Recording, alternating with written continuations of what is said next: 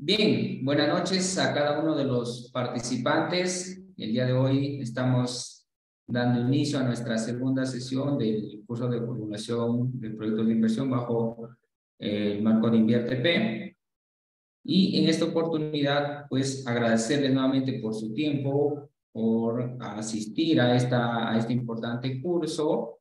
Recordarles también que el curso se, se está desarrollando durante cuatro semanas. Los horarios son de lunes y jueves de 7 a 9 y media de la noche. Bueno, en esta oportunidad tenemos una sesión muy importante donde vamos a hablar ya de la programación multianual de inversiones y para ello les voy a dejar con nuestro ponente, el economista Nino Chávez. Economista Nino Chávez, por favor, eh, puede compartir su presentación. Sí. ¿Qué tal? Eh, buenas noches con todos y con todas. Entonces, eh, bienvenidos. Iniciamos nuestra segunda sesión. Eh, vamos a hablar del, en esta oportunidad del sistema de inversiones del invierte y también un poquito de la programación multianual, cómo es que este sistema eh, viene eh, gestionándose por los distintos operadores de los tres niveles de gobierno, ¿no? Ese es un poquito el, objetivo de la sesión de hoy, eh, el marco general del invierte y además la programación multianual, ¿no? Entonces tenemos esos dos temas que, que trataremos el día de hoy, ¿sí? Ya saben como en la sesión anterior, si es que tienen alguna pregunta, la pueden hacer durante el desarrollo de la propia presentación o también eh, pueden hacerlo hacia el final como se les eh, acomode mejor eh, y también pueden escribirla en el chat en el momento que consideren pertinente, ¿no? Para poder proceder con la respuesta, ¿sí? Bien, entonces, sin más, empezamos a hablar del Sistema Nacional de Programación Multianual y Gestión de Inversiones. Eh, como ya lo adelantamos en la sesión anterior, el Sistema Nacional, el, el Invierte.p, coloquialmente conocido como Invierte.p, o Invierte, es un sistema administrativo del Estado, ¿no? Y como cualquier sistema administrativo del Estado, o como todo sistema administrativo del Estado, tiene, eh, está conformado por órganos, tiene órganos, tiene procedimientos, tiene funciones, tiene responsabilidades, ¿no? Y, cada uno de estos órganos en el marco de sus funciones, sus responsabilidades, su procedimiento, echan a andar en lo que es la inversión pública, ¿no? Y ya dijimos también que la inversión pública no es eh, única y exclusivamente no está única y exclusivamente relacionada al sistema de inversiones, sino que también el sistema de inversión, o mejor dicho, las inversiones eh, eh, pueden o generalmente se eh, trabajan viendo, observando, cumpliendo las normas y disposiciones de varios sistemas administrativos, ¿no? Por eso es que el Invierte propone esa integración intersistémica de, varios sistemas administrativos, principalmente cuatro, eh, pero y hemos visto en la sesión anterior que inclusive eh, hasta seis o siete sistemas administrativos. ¿sí? Ok, eso es entonces el, sistema, ¿no? el invierte es un sistema administrativo que regula, eh, como otros sistemas, eh, regulan también las conductas de los funcionarios, regulan el uso de los recursos destinados a inversión. Eh, y acá, de repente, podemos hacer un, pequeño paréntesis, ¿no? Cuando hablamos, regula el uso o la utilización de recursos de inversión. entonces nos preguntamos, ¿existen recursos que no son inversión? Eh, bueno, sí, el Estado tiene, a través de sus tres niveles de gobierno, tiene como destino los recursos públicos, uno orientado a inversión pública, eh, otro eh, orientado a gasto corriente y otro destino principalmente para pago de obligaciones o endeudamiento. ¿no? Esos son los tres destinos de los recursos públicos de las entidades. Eh, capaz el más, eh, el recurso más grande o el, destino más grande del uso de los recursos es el gasto corriente, ¿verdad? Que son estos gastos recurrentes que siempre las entidades públicas eh, tienen que asumir, ¿no? Pago de profesores, pago de policías, mantenimiento este, de la infraestructura pública, ¿no? Eh, en general, eso es este, mm, los gastos corrientes. Eh, y los gastos de inversión es el segundo rubro más importante en gasto público eh, y está asociada a inversiones. Antes con el SNIP estaba asociada a proyectos y ahora en el invierte está asociado a, proyectos y a inversiones que no son consideradas proyectos, como vamos a ver más adelante. ¿sí? Entonces, todos los recursos eh, de inversiones son eh, regulados bajo este sistema administrativo. Cualquier proyecto de inversión o cualquier intervención con una IOR, una inversión que no es proyecto, está regulado bajo las normas del invierte, cuyo ente rector es eh, el Ministerio de Economía y Finanzas a través de la Dirección General de Programación Multianual y Gestión de Inversiones. ¿sí? Eh, por lo tanto, eh, el MEF es el que dicta las normas, los procedimientos, las metodologías generales para poder gestionar la inversión pública eh, y los sectores, como vamos a, ver más adelante, son las que eh, regulan, las que proponen, las que definen los lineamientos, metodologías específicas en el marco de sus funciones y competencias. ¿sí? Pero en sí, el sistema que está conformado por varios órganos y varias funciones entre estos órganos eh, nos sirve para regular la conducta de los funcionarios públicos, para regular la utilización de los recursos de inversión de las entidades de los tres niveles de gobierno. ¿sí? También nos dice eh, en la ley, eh, el decreto legislativo 1252, que el invierte eh, promueve la eficacia y eficiencia, ¿no? y acá la pregunta es, ¿qué es eficacia? ¿Qué es eficiencia? ¿Por qué estos términos están, digamos, como dos pilares que, que regulan o que promueven o que están dentro de la gestión de las, eh, de las inversiones. El primer pilar tiene que ver con la eficacia, ¿no? Es decir, que efectivamente lo que tú hagas, lo que tú propongas con inversión pública, lo que tú ejecutes con inversión pública, eh, debe permitir lograr eh, cumplir alguna meta especificada en tu plan, en tu programación, en tu gestión, ¿no? es decir, debes lograr el objetivo. Eso es eficacia, ¿no? Entonces, uno de los pilares en los que se apoya el sistema de inversiones es la eficacia, ¿no? Y la eficacia asociada al cierre de brechas, como vimos la, la, sesión anterior.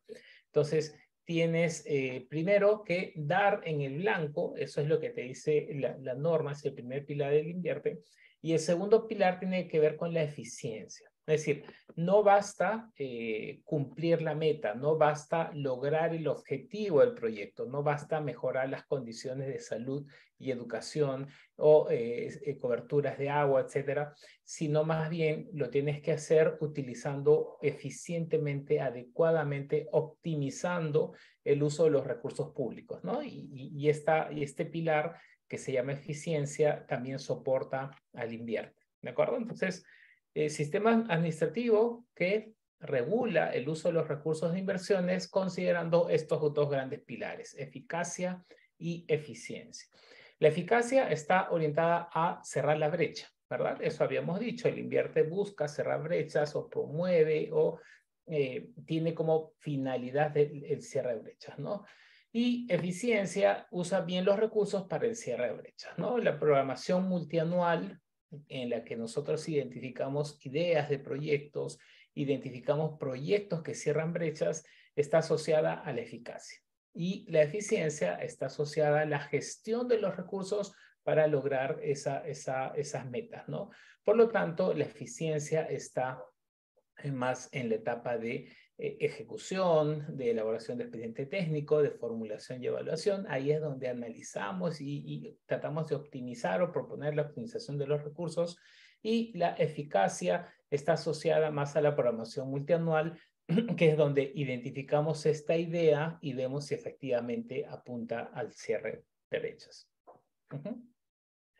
Ok, primer punto. Segundo punto, eh, el invierte tiene la finalidad de orientar el uso de los recursos a la efectiva prestación de servicios y provisión de infraestructura, ¿no? Acá el invierte ya nos habla de dos términos bien específicos, ¿no?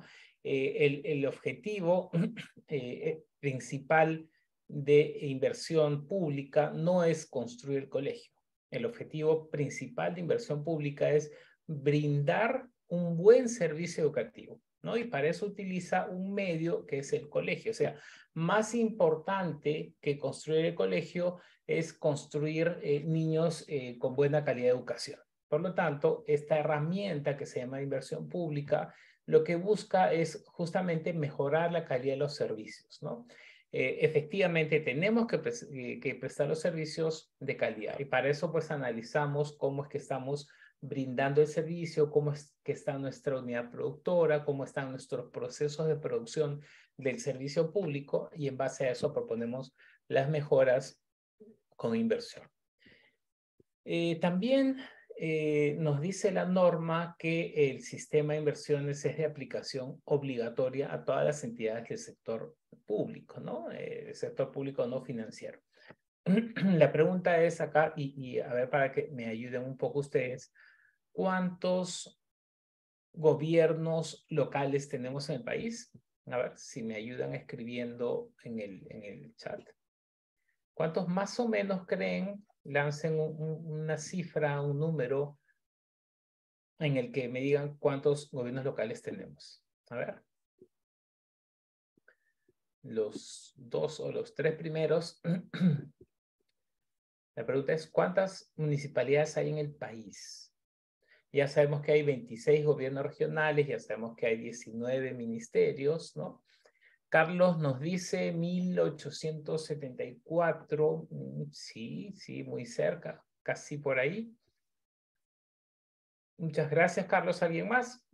Si no, mientras tanto, vamos comentando. A ver, de los 1874, capaz un poquito más, eh, saben que tenemos la tendencia en el Perú de ir creando municipios eh, a menudo.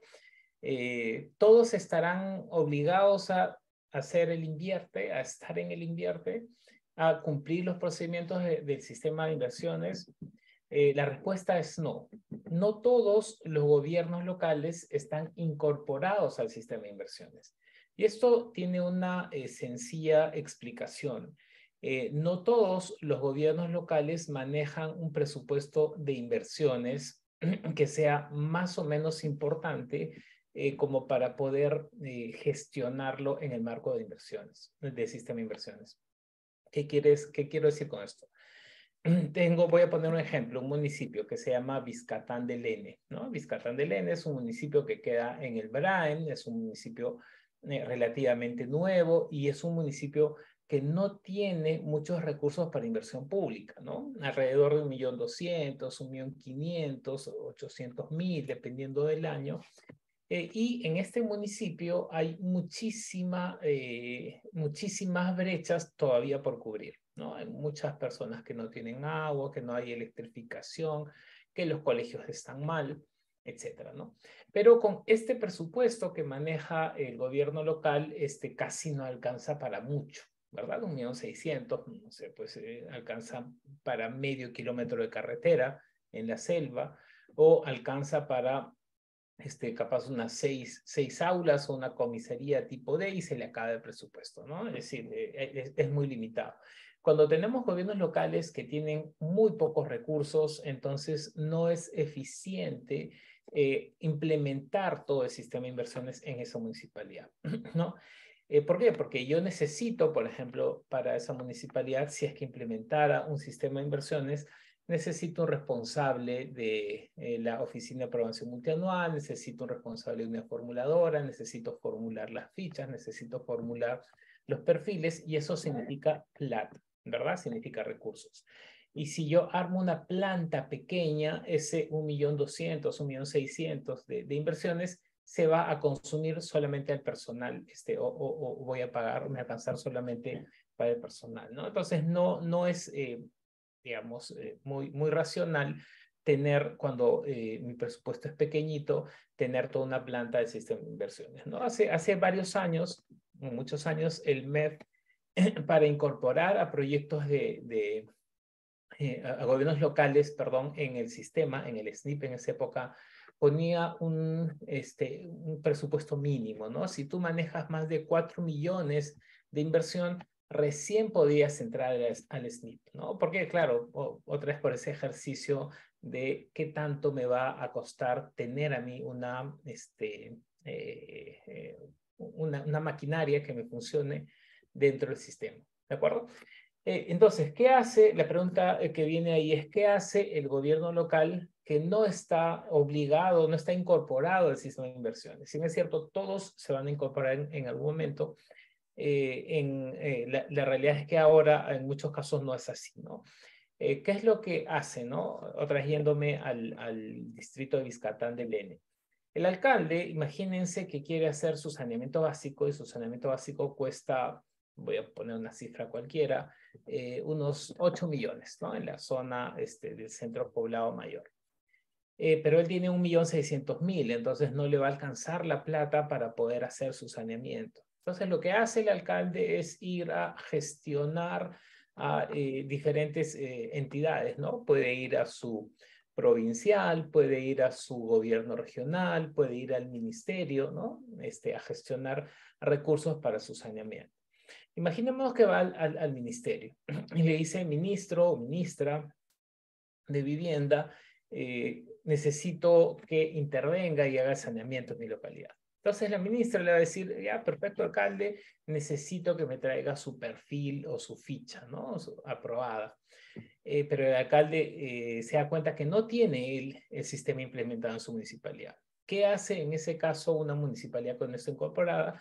Lo que hace es firmar un convenio con alguna municipalidad vecina de su, de su eh, territorio o con su gobierno regional para que a través de la este, eh, unidad formuladora de, estos, eh, eh, de estas otras entidades se pueda canalizar el proyecto para finalmente presentar y gestionar al Ministerio de Vivienda, ¿no? Entonces, no es que no pueda gestionar los recursos, sino en el sistema se, se ha previsto esto y se ha este, generado ese procedimiento, ¿no? Hay convenios entre gobiernos locales que uno que está en el sistema, otros que no están en el sistema, para poder gestionar estos recursos para proyectos que van más allá de su presupuesto, ¿no? Sobre todo para los pequeñitos, ¿sí? Entonces, acá todos están, este, todos aplican, sí, pero no todos están incorporados. En los gobiernos regionales sí están todos incorporados y los ministerios eh, de todas maneras que sí, ¿no? Eh, y también acá eh, cabe precisar de que eh, todas las inversiones que se ejecuten en las entidades que están incorporadas al sistema deben observar estrictamente las normas y procedimientos del invierno. Salvo, salvo aquellas inversiones o aquellos proyectos que hayan sido exonerados, ¿no? la exoneración es una excepción este, en realidad no debería darse, eh, pero por algunas razones eh, se han venido dando excepciones para eh, la observancia de las normas de los sistemas de inversiones. En el invierte ya no tanto, esto era un poquito más, con mucho más frecuencia en el SNIP. hemos exonerado varios, muchos proyectos eh, del cumplimiento del ciclo de inversiones del SNIP, ¿no? Porque siempre la, la, queja era, oye, se demora mucho, mucha traba, no, nos hacen problema por todo, entonces exoneremos, ¿no? Y eh, en su momento las autoridades eh, que corresponden han exonerado algunos proyectos. Algunos ejemplos de proyectos exonerados en el sistema de inversiones tenemos la Interoceánica Sur, ya conocen la historia de la Interoceánica Sur, ustedes sale mucho en las noticias. Eh, otros proyectos exonerados han sido los estadios de la Copa América Perú en 2004, eh, los colegios emblemáticos eh, también en la época de 2008, 2009, más o menos por ahí. Creo que esos son los principales proyectos que se, que se exoneraron, ¿no? Pero hay una relación ahí interesante de proyectos. ¿Ok? Entonces, ¿Puedo yo exonerar a mi proyecto eh, del, sistema, de inversiones? Se han dado casos, ¿no? Se han dado casos. Sale un decreto supremo y se, se especifica por qué se exonera. Últimamente, en los últimos años, no ha habido ningún tipo de exoneración. ¿Ok? Eh, ¿Cuáles son los principios rectores del sistema de inversiones? acá en el decreto legislativo nos muestran estos principios eh, rectores. Vamos a describir rápidamente este, cada uno de ellos. Eh, primero nos dice que la programación multianual de inversiones, ¿qué cosa es la programación multianual de inversiones? La programación multianual es una herramienta mediante la cual yo programo, yo priorizo, selecciono y lo pongo en una línea de tiempo, programo este, las inversiones de mi entidad. Y lo programo de manera multianual, ¿no? Lo programo para tres años.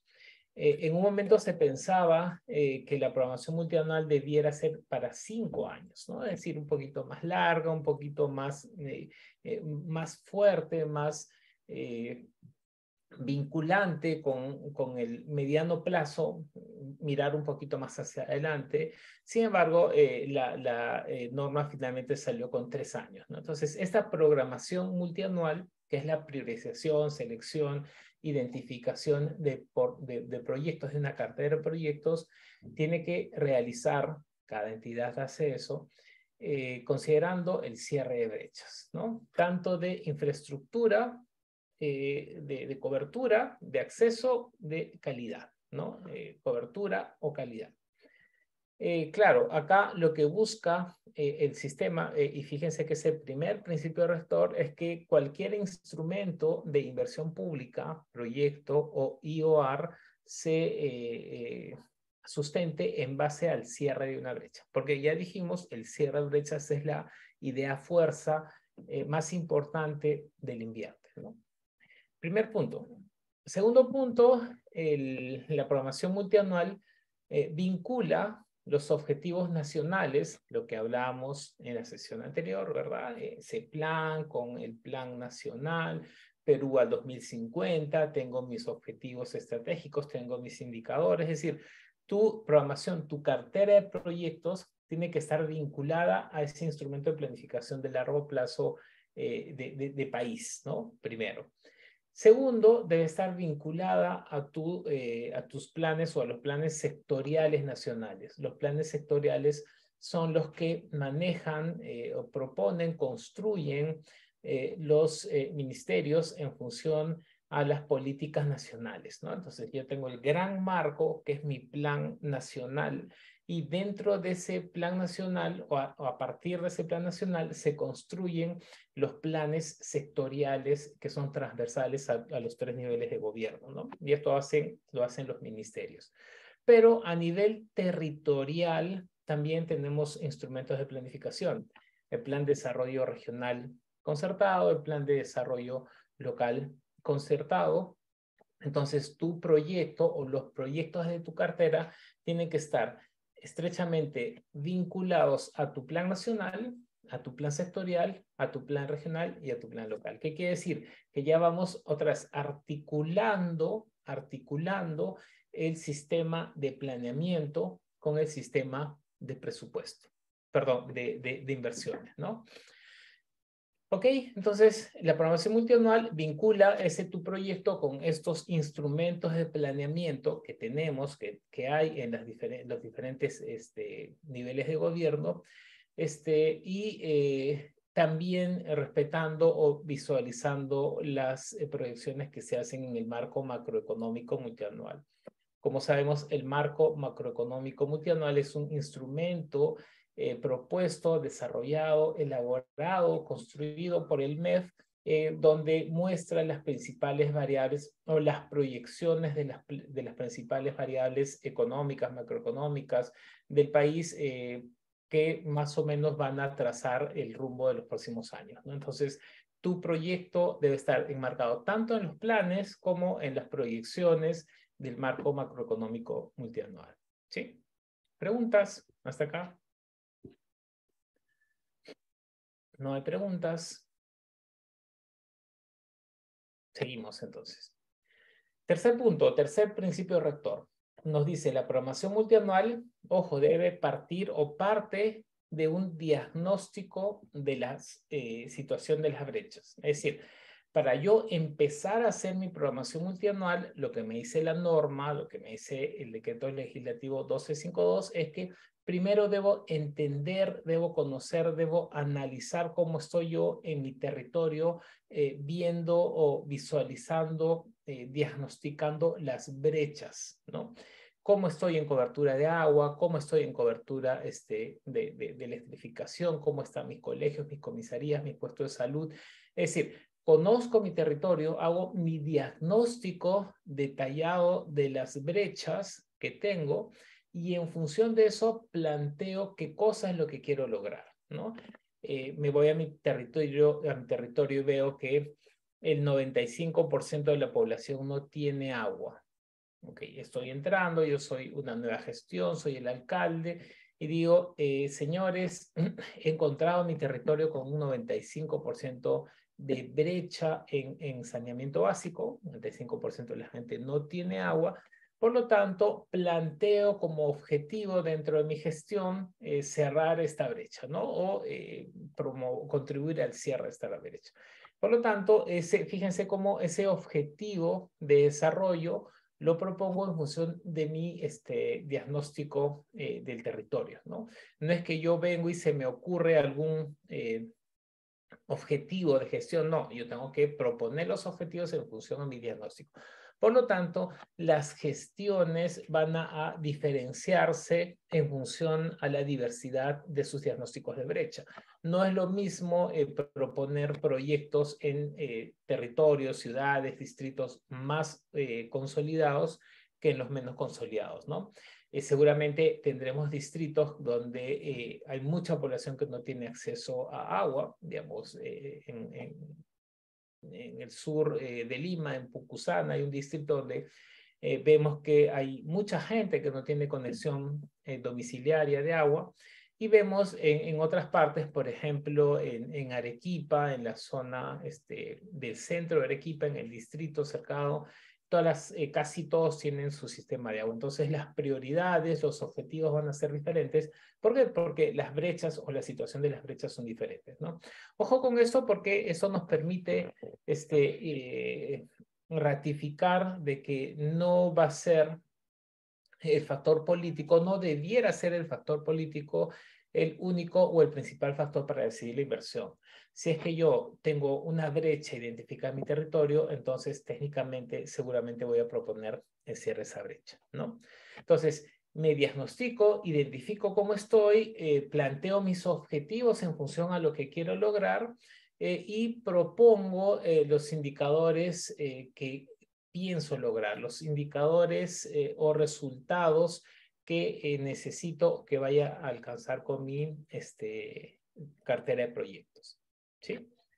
Tercer punto. Cuarto punto, que nos dice eh, los principios del sistema, que los recursos destinados a inversión deben procurar el mayor impacto, ¿no? Es decir, debemos hacer proyectos que generen mayor beneficio a la población. Eh, y claro, esto, o para esto, nosotros debemos diferenciar eh, que los niveles de gobierno que tenemos, ¿no? El gobierno nacional, el gobierno regional, el gobierno local.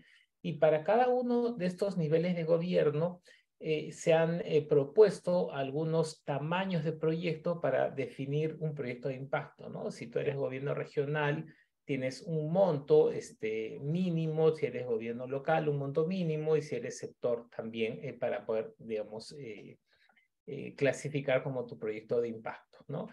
Eh, ¿Y esto por qué es importante? Porque eh, es mucho más ineficiente hacer muchos proyectos chiquitos, ¿no? Que hacer un proyecto grande que genere mayores beneficios. Entonces, lo que te propone el sistema es no hagas mm, proyectos pequeños, muy pequeños o, muy dispersos, sino más bien haz intervención, este, intervenciones mucho más integrales, mucho más este, completas que obviamente generan mayor impacto, ¿no? Eh, y capaz acá eh, vamos a encontrar algunas contradicciones en las cifras eh, ya cuando em, implementamos el sistema, porque es verdad que cuando teníamos el SNIP teníamos más inversiones de mayor envergadura y cuando tenemos el invierte y la aparición de la CIOAR, tenemos eh, mucho más inversiones de menor envergadura, ¿no? Entonces, e, esa contradicción de que por qué hacemos proyectos o inversiones más pequeñas eh, con el invierte es algo que todavía este, nos falta mejorar, ¿no? Pero lo, lo que me dice el invierte es, eh, oye, lo que tú hagas debe generar el mayor impacto posible, ¿no? En lugar de eh, proponer el asfaltado de una callecita, de un barrio, de repente deberíamos promover o proponer el asfaltado eh, o la pavimentación de toda la urbanización o, toda la zona, ¿verdad? Esa es un poquito la lectura de, esta, de este principio. ¿Qué más? Eh, dos, dos, temas más, ¿no? Uno, que eh, la inversión debe programarse teniendo en cuenta la previsión para la operación y mantenimiento, los recursos para la operación y mantenimiento. ¿Y por qué poner esto como un principio rector del sistema? Porque en el país estamos poco acostumbrados a eh, mantener, a operar adecuadamente los, las inversiones que, que vamos ejecutando. Eh, ejecutamos o construimos la carretera, la hacemos bien grande, bien bonita, este, de doble sentido, este, con eh, la señalización. Nunca más le dimos el mantenimiento y a los seis meses la carretera ya no sirve, ¿no? Eh, o construyo el hospital. Alguna vez alguien me decía, oye, estamos haciendo muchos hospitales, ¿no? A nivel nacional, tenemos un montón ya de, eh, oncológicos y no sé qué, y de UCIs, y eh, por ahí algún médico especialista este, le, eh, le, respondió a ese mi colega, dijo, ¿y de, qué, ¿y qué me sirve tener tantos hospitales si no tengo médicos incentivistas, si no tengo intensivistas, perdón, si no tengo este, médicos especialistas en la oncología de tal o cual especialidad, etcétera. Entonces, sí, pues a veces cuando ejecutamos proyectos, eh, más pensamos en, la, en, la obra, en la infraestructura, que eh, cómo voy a dar el servicio, ¿no? O cómo voy a financiar el servicio. Entonces, sí es importante eh, rescatar esa necesidad de asignar los recursos para la operación y mantenimiento.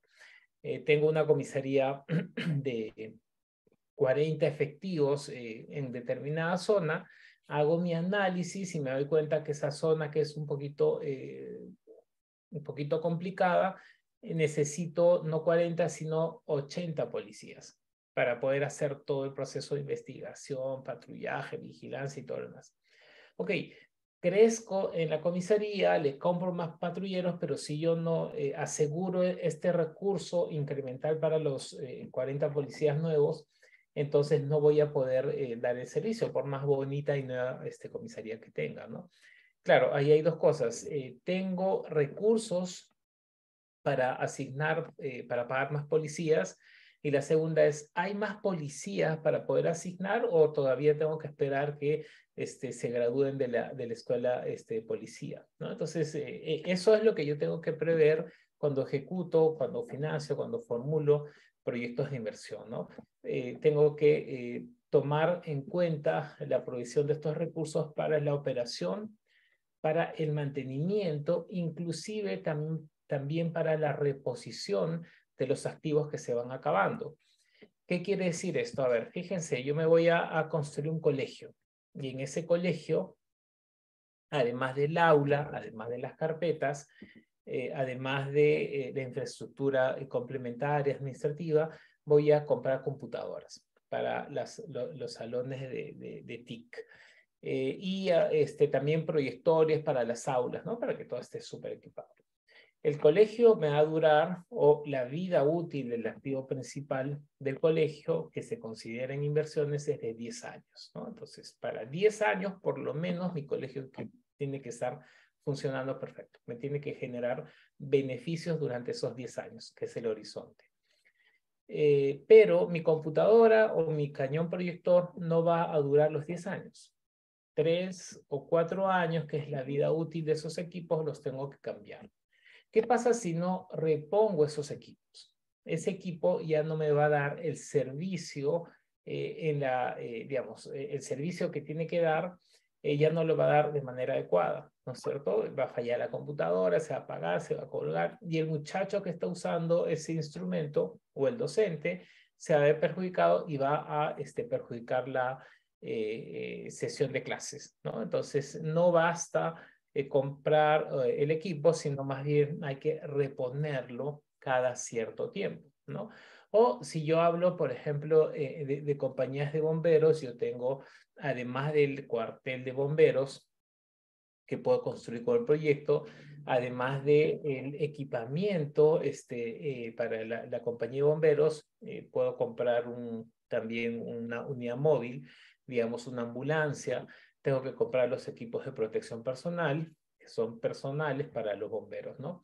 Eh, un camión de bomberos más, o menos tiene una vida útil de 7, 8 años. Cada 7, 8 años yo tengo que cambiarlo porque si no eh, voy a eh, apagar el incendio y a la mitad de, de, la ruta se me malogra el carro. ¿no? Eh, eso pasa y, es bastante común. en algún momento, cuando veíamos a una compañía de bomberos, el año, hace dos años o tres años, evaluamos sus unidades de bomberos y tenían un camión de rescate que era del año 1980. O sea, ese camión casi tenía 40 años este, en servicio. Claro, eh, tenían que calentarlo unos cinco minutos antes de partir porque si no se malograba la vuelta de la esquina y nadie este, podía después eh, echarlo a andar, ¿no? Eh, ¿Y por qué tenemos 20 años un cañón, perdón, 40 años un camión este, de bomberos? Porque no, otra vez, no hacemos el ejercicio de reponer los activos que se nos van quedando, ¿no? Eh, lo mismo pasa en computadoras, lo mismo pasa en patrulleros, lo mismo pasa en ambulancias, e, en, todo. Entonces, no tenemos usualmente esa cultura de mantener, de operar, de reponer este, los activos y por lo tanto nuestro nivel de servicio baja. ¿no? Por eso es importante eh, prever esos recursos para eh, estas, estas acciones. ¿no? Y finalmente, el otro principio que nos dice el sistema de inversiones es el principio de Eh, aplicar mecanismos que promuevan mayor transparencia o mucha transparencia y también este, calidad a través de la competencia. ¿Qué quiere decir? A ver, primero que debemos proponer o debe proponer el MEF eh, los mecanismos para poder transparentar eh, la mayor cantidad de información de manera que esté disponible para que cualquier ciudadano pueda enterarse qué se está haciendo y qué no se está haciendo en su localidad, ¿no?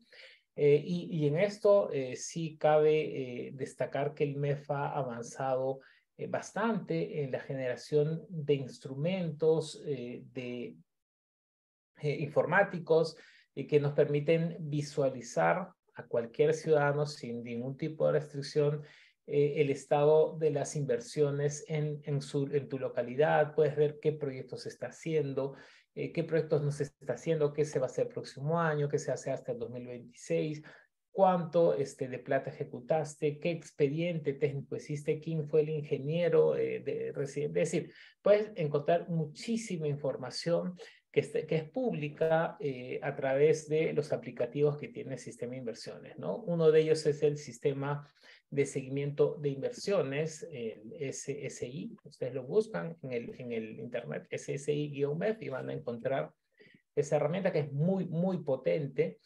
Eh, tenemos el formato 12, donde se registra información del avance físico y financiero del, del proyecto, de cada una de las inversiones del país. Eso está vinculado también con el formato 8, donde se registran todas las modificaciones que se van dando durante las diferentes etapas de, la ejecución del proyecto y además también se vincula eso con el tema de presupuesto y contrataciones eh, para poder ver qué pasa en los sistemas administrativos relacionados a, tu proyecto de inversión. Entonces, esa, eh, digamos, eh, propuesta de, gran cantidad de información a través de estos sistemas que tiene el MEF en su plataforma transparentan mucho, muchísimo la información y mientras más información hay disponible, seguramente hay muchos más ojos que pueden ver eh, qué es lo que pasa y qué es lo que no pasa, ¿no? Es una forma de transparentar eh, y el MEF, insisto, ha avanzado bastante en, esa, en ese tema, ¿no? Bien, preguntas hasta acá, comentarios. Ok, entonces, si no tenemos, igual, pueden escribir los comentarios en, en el chat. tenemos. Eh, Magali nos dice, cuando hay modificaciones durante las modificaciones, a ver, otra cuando hay modificaciones durante la ejecución física para el registro, es necesario, no sé si terminaste la pregunta o,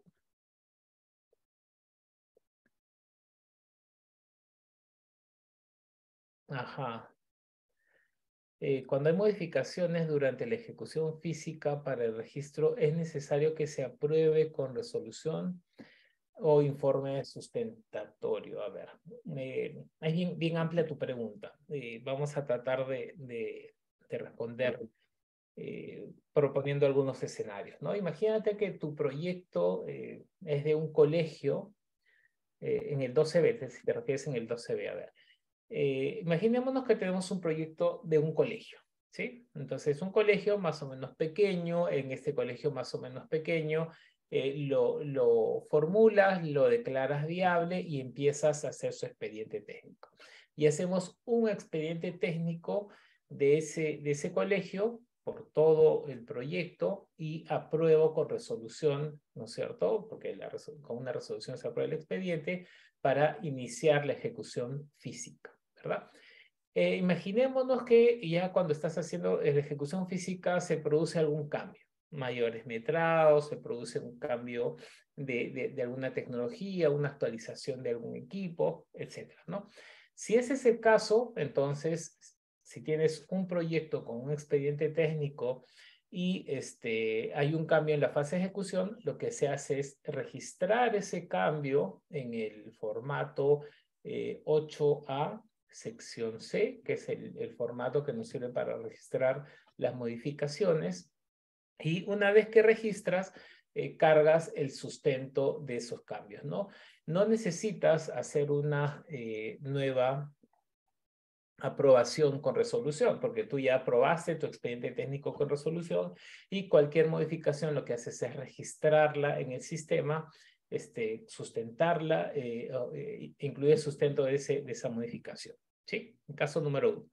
Caso número dos, eh, ¿qué pasa si no es un proyecto, digamos, tan sencillo, entre comillas, sino es un proyecto un poquito más complejo? Voy a exagerar en el ejemplo, digamos, el, la línea 4 del Metro de Lima, Entonces, ahí terminas la, la formulación y evaluación, apruebas el expediente eh, técnico, pero no apruebas el expediente técnico de, todo, apruebas el expediente técnico de una partecita, de una etapa, ¿no? De un eh, eh, componente, no sé, o sea, hacer un proyecto, un expediente técnico de un proyecto de 4 mil millones es inviable, ¿no? Entonces, lo que se hace usualmente en proyectos grandes es eh, poner fases, poner etapas, ¿no? Y hacer varios expedientes técnicos en varias etapas.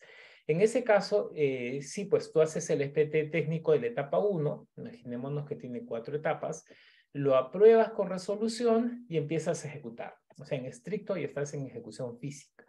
Cuando haces el expediente técnico de la etapa 2, entonces ahí sí tienes que aprobarlo con resolución para empezar a ejecutar. ¿De acuerdo? Entonces, la respuesta puede ser en función al tipo de proyecto. ¿De acuerdo? No, no, no para todos los casos va a, ser, va a ser igual. Entonces, respondiendo, cuando hay modificaciones durante la ejecución física para el registro, es necesario que se apruebe con resolución, la respuesta sería depende, ¿no? Si estás haciendo un solo expediente técnico con todo el proyecto, entonces no necesitas hacer una resolución. Pero si es un proyecto por etapas y eh, ya venciste una etapa y estás empezando la otra, entonces haces tu expediente técnico aún cuando estás en la fase de ejecución física para poder ejecutar. El registro 12B, eh, ahí yo tengo entendido, este, capaz ya han avanzado este, más los, los, los amigos de, del MED, yo tengo entendido que se estaba trabajando en la... Eh, en una mejor vinculación entre el 8 el formato 8 y el formato 12. ¿Qué cosa quiere decir que está hablando Nino? A ver, vamos a explicar a todos con, con un poquito calma. Cuando yo eh, registro un proyecto, cuando yo registro una ficha o un perfil, un documento técnico, eh, lo registro utilizando el formato 7, ¿verdad? El formato 7 tiene un montón de campos, tiene un montón de información que, que la cargo en el sistema y queda registrada y con eso apruebo mi proyecto. Cuando me voy a la ejecución, nace el formato 8. Y lo que se está haciendo es, o lo que se ha hecho, es eh, vincular el 7 con el 8 informáticamente. Entonces hay información que va a cargarse automáticamente del formato 7 al formato 8. ¿sí? Lo mismo con el formato 12. Hay una mejora en la articulación de la información del 8 con el 12. Entonces, todas las modificaciones que yo haga en el 8 se van a, se visualizan en el formato 12. ¿no? Entonces, no necesito eh, actualizar en los dos instrumentos, sino actualizo el 8 y con esos, esos sustentos eh, el 12 ya lo jala o lo va a jalar. ¿sí? Gracias, Mali, por la, por la pregunta. Ok, ¿qué más nos dice el sistema de inversiones? El sistema de inversiones nos dice que hay un ciclo de la inversión pública, ¿no? Y el ciclo nace, eso ya lo hemos conversado un poquito, con la programación multianual, eh, la fase donde yo programo eh, los proyectos o las inversiones que voy a hacer en mi entidad en función a ciertos criterios, ciertas prioridades, en función a mi diagnóstico de brechas, por ejemplo, y una vez que registro eh, en la fase de programación multianual la idea que voy a, proponer, paso a la etapa de formulación y evaluación. Entonces el alcalde me dice, oye, Nino, quiero el monumento a mi abuelita. alcalde, tu proyecto no pasa porque no cumple con los criterios de priorización. Entonces te vas con tu este, monumento a la abuelita.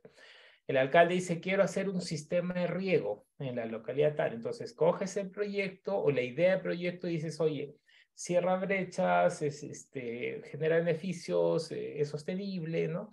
Entonces, si cumple con los criterios que has propuesto en tu programación multianual, entonces esa idea de proyecto pasa a la formulación y evaluación. Eh, si en la fase de formulación y evaluación demuestras que ese proyecto cumple tres condiciones. Es rentable socialmente, es sostenible y cierra brechas. Entonces, eh, lo apruebas el proyecto, se aprueba ese proyecto y pasa a la fase de ejecución. ¿sí? Puede ser que tu idea de proyecto sea una buena idea, pero cuando yo voy a formularla, este, no, cumpla, no cumpla con alguna de estas tres condiciones. Es decir, no sostenible. Hola, soy Siri. ¿Cómo te puedo ayudar? No sea sostenible o este, no, cierre brechas o eh, eh, no, no, genere los beneficios eh, sobre los costos, entonces en ese momento lo que tú haces es rechazar ese proyecto, ¿de acuerdo? Puede darse casos de, rechazar proyectos, sí. ¿Es muy común en el sistema de inversiones? No. Ahora con el invierte, mucho menos, ¿no? Eh, claro, en el eh, lo que pasa es que estábamos organizados, o el SNP estaba organizado eh, de una forma que el que formulaba el proyecto era un órgano y el que evaluaba el proyecto era otro órgano. Entonces ahí había cierto tipo este, de, control, cierto tipo de, de forma de trabajar que eh, en algunos casos la formuladora formulaba proyectos pues, que eran eh, descabellados o que no generaban beneficios, no sé, y eh, la OPI, que es la que evaluaba, rechazaba los proyectos. Ahora con el invierte eso ha cambiado un poquito, ya la unidad formuladora formula y la unidad formuladora aprueba. Entonces, seguramente, estadísticamente tenemos mucho menos eh, proyectos que se rechazan porque la propia unidad formuladora es la que se aprueba, eh, la que aprueba sus propios proyectos, ¿no? ¿Okay? Entonces, eh, cojo la idea, ¿no? Del riego, del sistema de riego, y pasa a la formulación y evaluación, demuestro que es rentable, que es sostenible, que cierra brechas, y paso a la siguiente etapa, ¿no? Y la siguiente etapa, como sabemos, tiene dos momentos, la formulación del expediente técnico, y la ejecución propiamente de, del proyecto, la ejecución física del proyecto. ¿sí? Entonces, hago mi, mi, expediente, lo apruebo con resolución y ejecuto. Y una vez que ejecuto, cierro el proyecto, registro el formato 9, no se olviden, 7, eh, formato 7 para registrar el proyecto formato 8 para registrar los cambios en el proyecto y formato 9 para registrar el cierre del proyecto, ¿verdad? Ok, entonces eh, termino el proyecto, lo liquido, lo cierro, registro el formato 9 y abro este, la compuerta para que pase el agua. Es decir, ya entro a la etapa de funcionamiento. ¿De acuerdo? Entonces, todos los proyectos de inversión pasan por esta etapa. Quienes no pasan por esta etapa, no pasan por, esta, eh, por estas etapas, por este ciclo, aquellas inversiones que no son consideradas proyectos. A ver, a ver, ¿qué está diciendo Nino? Hay inversiones que son proyectos y hay inversiones que no son proyectos. La respuesta es sí. Hay inversiones que son consideradas proyectos de inversión y hay inversiones que no son consideradas como proyecto de inversión. ¿Sí? Ahorita lo vamos a detallar un poquito más. Estas inversiones que no son proyectos de inversión se programan y se ejecutan. Es decir, las IOR, que son nuestras inversiones, no se formulan y evalúan. Simplemente pasamos de la programación multianual, se registra la ficha de, de, IOR y pasa de frente a ser expediente técnico. Esto se hizo con eh, eh, este, este mecanismo, nació con la idea de agilizar eh, las inversiones que sean muy puntuales y, específicas sobre algunos activos importantes, estratégicos de las unidades productoras, ¿no? ¿Por qué? Porque, claro, capaz no, no, no era muy racional volver a evaluar eh, reponer la computadora que se me acabó. ¿Recuerdan esa computadora del colegio que dije a los cuatro años tiene que salir? Ok, ¿para qué hago un proyecto para poder este, reponer esa computadora que se acabó? ¿O para qué hago un proyecto para comprar ese camión de bomberos que venció su vida útil? ¿Verdad? Entonces, esas intervenciones específicas, puntuales sobre activos estratégicos, eh, ya, no, eh, ya no resulta pertinente hacer una evaluación de la sostenibilidad, la rentabilidad social, etcétera, ¿no? Porque ya forman parte de un proyecto seguramente aprobado. ¿De acuerdo? Ok, entonces el ciclo de inversión, programación multianual, formulación y evaluación, ejecución y funcionamiento es para todos los proyectos y para los, las inversiones que no son proyectos nos salteamos la etapa de formulación y evaluación. ¿Sí? ¿Preguntas? Hasta acá.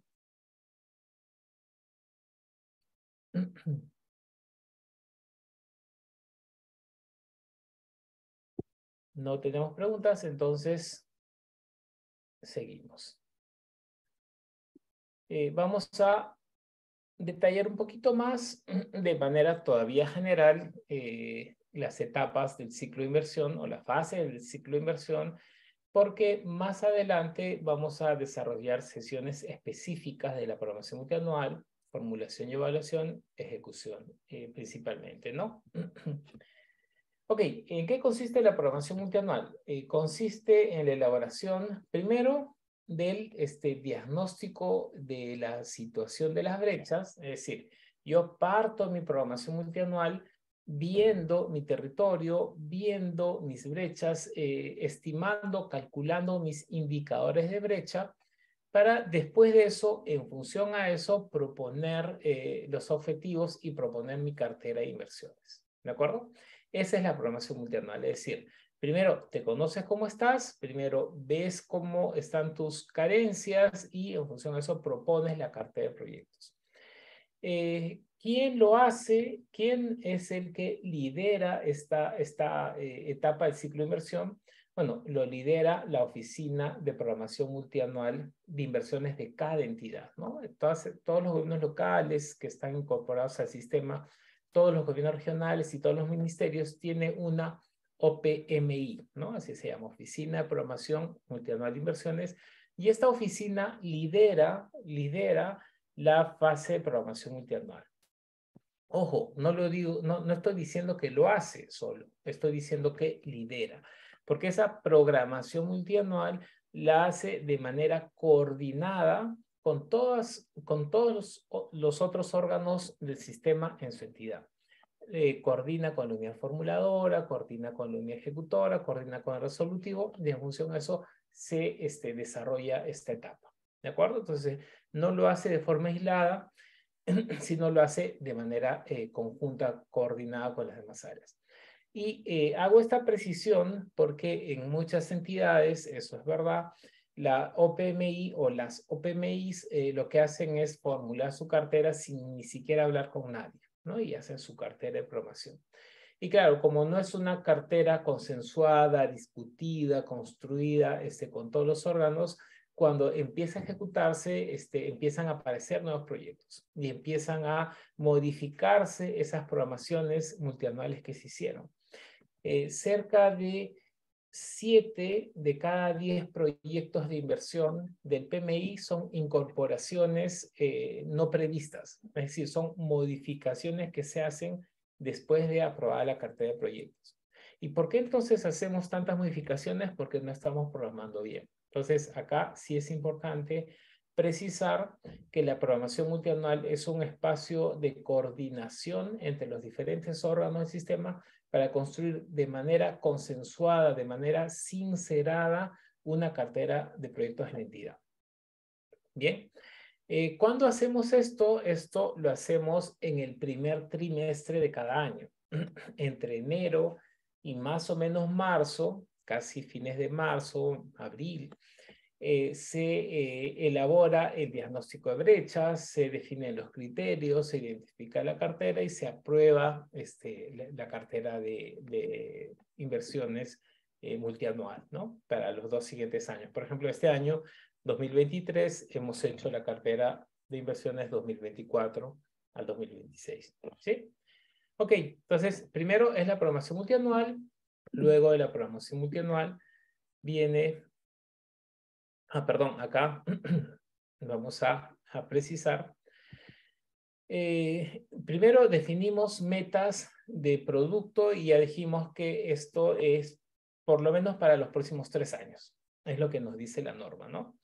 Eh, utilizamos eh, como marco los planes, ya dijimos también que hay una articulación con los instrumentos de planeamiento, planes eh, nacionales, eh, regionales, locales. Eh, también incluimos proyectos si es que van a ser ejecutados ah, en, algún caso por una ah, APP, ¿no? Por una asociación público-privada cofinanciada. ya dijimos también, este, realizamos coordinaciones, articulamos interinstitucional e intergubernamental eh, para eh, proponer la cartera de los, proyectos, ¿no? Eh, ¿Qué quiere decir? Capaz, otra vez, yo soy Vizcatán del N, necesito gestionar mi proyecto de saneamiento, me voy al Ministerio de Vivienda, entonces hay un proceso de coordinación con el ministerio este, intergubernamental eh, para poder eh, incluir en la cartera de vivienda o, capaz me, van a transferir los fondos y me van a este, incluirlo en mi cartera de PMI, etcétera, ¿no? Entonces, esa coordinación eh, hay, que, hay que hacerla, hay que ver dónde va este, el proyecto en esos casos, ya sea con otra institución o ya sea con otro nivel de gobierno, ¿verdad? Entonces, realizamos esas coordinaciones, además de las coordinaciones internas que les comentaba hace un momento. Eh, ok, ¿qué más nos dice la programación multianual? Los sectores eh, lideran en los tres niveles de gobierno los objetivos, metas, indicadores. Los sectores proponen, de hecho, han propuesto eh, los criterios de priorización de los proyectos de acuerdo a sus funciones, ¿no? Por ejemplo, en agricultura han sacado sus criterios de priorización eh, de los eh, proyectos de su sector, que le corresponde funcionalmente a su sector, y esos criterios son aplicados por los gobiernos locales o regionales eh, para poder priorizar sus proyectos, ¿no? Por ejemplo, alguno de los criterios es, tu proyecto está en zona este, de frontera, tu proyecto está en zona de tu proyecto está en una zona de pobreza, tu proyecto este, tiene tal cantidad de beneficiarios o más, etcétera, ¿no? Entonces hay varios criterios ya definidos por el sector, por cada, cada, uno de los sectores para poder eh, priorizar eh, y puntuar los proyectos eh, de inversión de la entidad, ¿no? Si queremos ver esos criterios, ustedes se van a la página del MEF, en la página del MEF van a la programación multianual de inversiones, ahí es una página muy, muy, muy buena, es una página muy completa, eh, pueden encontrar las fichas de este, los criterios de priorización, ¿no? Se descargan esas fichas de los criterios de priorización, eh, son casi todas o todas están en Excel eh, están con las fórmulas. En cada uno de los casos, tú pones tu proyecto, le pones las características de tu proyecto y ya te lanzan, te dan como resultado un orden de prelación de esos proyectos, ¿no? Eh, para ver cuáles haces primero o cuáles debieras hacer primero y cuáles al final. Y de acuerdo a tu presupuesto, tú escoges los proyectos que vas a ir este, ejecutando, ¿no? Entonces, eh, se ha avanzado mucho del 2017 al 2023 ahora este, se ha avanzado mucho en la metodología y en los instrumentos para hacer una buena eh, o una mejor programación multianual. ¿no? Entonces los sectores han, han, trabajado eso siempre en coordinación con el MEF como rector del sistema. ¿no? Eh, ok, ¿qué más? Eh, en la programación multianual los sectores definen sus indicadores de brecha, de infraestructura, eh, estos indicadores eh, que son eh, definidos por los sectores son comunicados a los gobiernos regionales y locales y publican los sectores estos indicadores, nivel de servicio y estándar de calidad. A ver, los sectores o cada una de las de los ministerios publican en su página web sus indicadores de brecha, ¿no? Eh, para esto eh, se ha eh, propuesto, o el MEF ha propuesto, una ficha de indicador de brecha donde se conceptualiza el indicador, se dice cómo se calcula, qué se trata, cuál es su justificación, cuáles son las restricciones que hay, los supuestos que se proponen. Y, estas, y estos indicadores de brecha son construidos por los sectores y son publicados otra vez de manera anual. ¿no? Entonces, si ustedes quieren ver, por ejemplo, los indicadores de brecha del de, eh, Ministerio del Ambiente, pones indicadores de brecha MINAM y les va a pasar, les va a salir la página web este, de, de, del Ministerio del Ambiente con los indicadores, eh, por ejemplo, para el 2024, 26, 2023, 2022, 21, etcétera. Entonces ya eh, ese instrumento está bastante bien este, entendido y construido por, los sectores. Lo mismo en el MINSA, lo mismo en educación, lo mismo en transportes, etcétera. Y en base a esos indicadores de brecha se hace la programación multianual. Este, se propone los proyectos eh, y eh, lo que les decía también, ¿no? Usualmente se hace una programación, pero ocurre de que en el transcurso del año eh, se generan modificaciones o cambios de, de, los proyectos de la cartera, ¿no? Alguien dice ya no hay que hacer este, sino hay que hacer este otro, cambia este por el otro. En esos casos, lo que debe hacerse es eh, sustentar por qué está este, eh, saliendo uno y por qué está incorporándose otro en lugar del que salió, ¿no? Eh, claro, hay un informe de sustento que seguramente va a servir para poder hacer los registros, ¿no? Si no está en el PMI, el proyecto no se ejecuta, ¿no? Porque está vinculado a la programación multianual con el sistema de presupuesto, ¿no? Esto también ya lo hemos conversado. Ok, preguntas de la programación multianual. No. Ok, seguimos entonces. Nos vamos a la formulación y evaluación. ¿no? La formulación y evaluación, ya dijimos, es la segunda etapa, la segunda fase del ciclo de inversión y en esta fase lo que hacemos es evaluar si estas ideas de proyecto este, son pertinentes de ser ejecutadas, ¿no? Oye, voy a ejecutar lo que se le ocurrió, a ver, y evaluamos eh, varias condiciones eh, respecto a, esa idea, ¿no? Analizamos la unidad productora, analizamos el área de estudio, analizamos la demanda, los involucrados, identificamos la problemática después de ese análisis, eh, dimensionamos el proyecto, proponemos alguna alternativa solución y evaluamos si esa alternativa solución es eh, rentable socialmente y sostenible, ¿no? Ese es el ejercicio que hacemos en la fase de formulación y evaluación. Entonces, todos los proyectos que han sido registrados como idea en mi programación multianual pasan a la fase de formulación y evaluación. Acá la pregunta entonces que hago es, todos los proyectos que han, este, o las ideas de proyectos eh, que están en la programación multianual, las, formulo o puedo formular algún proyecto que no esté en mi programación multianual. A ver, acá eh, espero sus comentarios. La pregunta es, ¿debo formular eh, las ideas que están en mi programación multianual o puede haber un proyecto que no está en mi programación multianual que lo formulo? ¿Podría darse ese caso? ¿Qué dicen? A ver, comentarios, los escucho.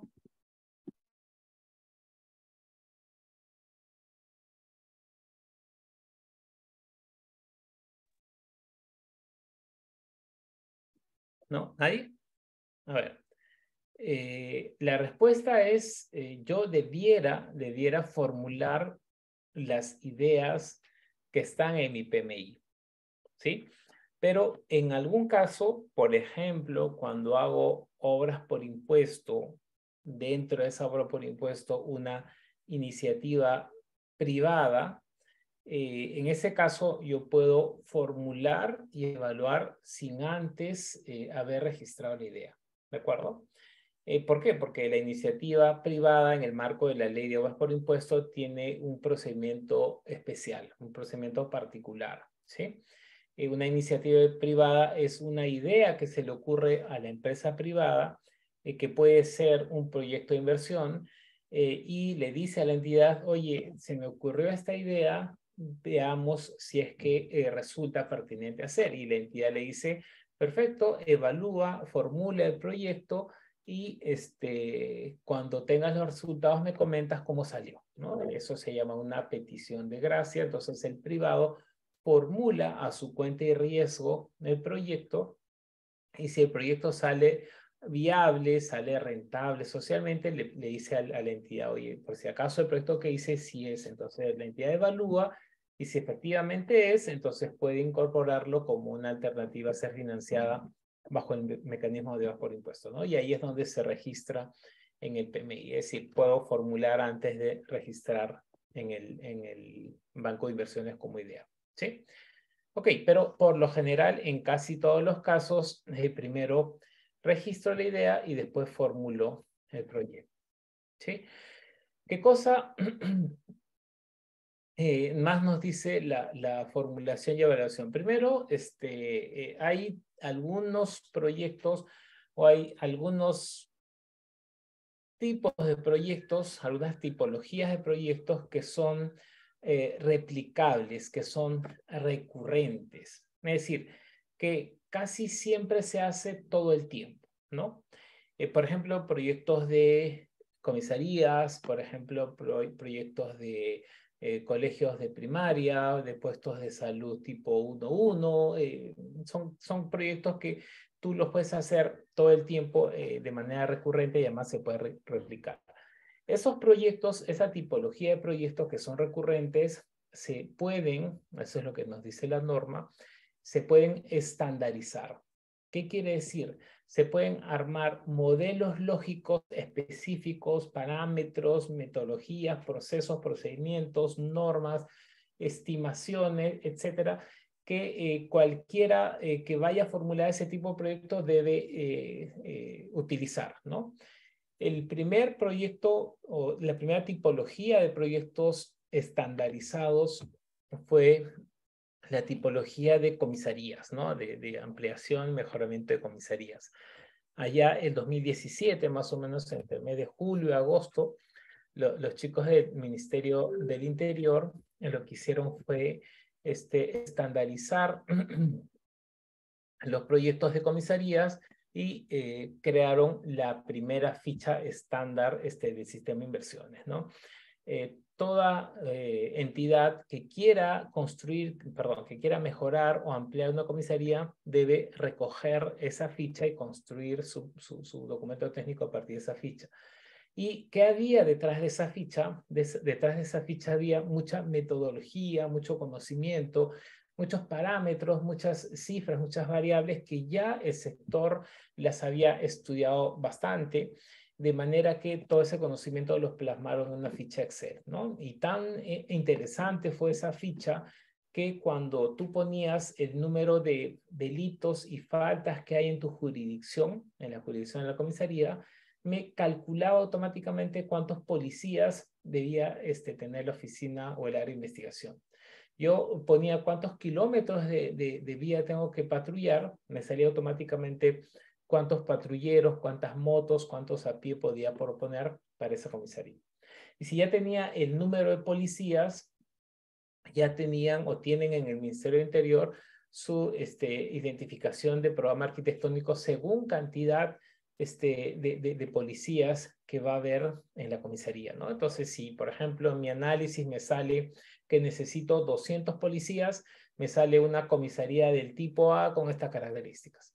Si dentro del análisis me sale que necesito 40 policías, entonces me sale de una tipo C con tales características. Entonces ya el formulador eh, no, no va a, este, eh, entre comillas, eh, insumir tiempo en analizar lo que ya analizaron los chicos porque ya estandarizaron esos procesos. ¿De acuerdo? Entonces, la estandarización ha sido un salto cualitativo importantísimo en la formulación de proyectos para poder agilizar los procesos y, digamos, no desviar la, la, propuesta este, de solución a la problemática que es recurrente. ¿no? Entonces, si hay una posibilidad de eh, replicar, de estandarizar, el sector lo propone.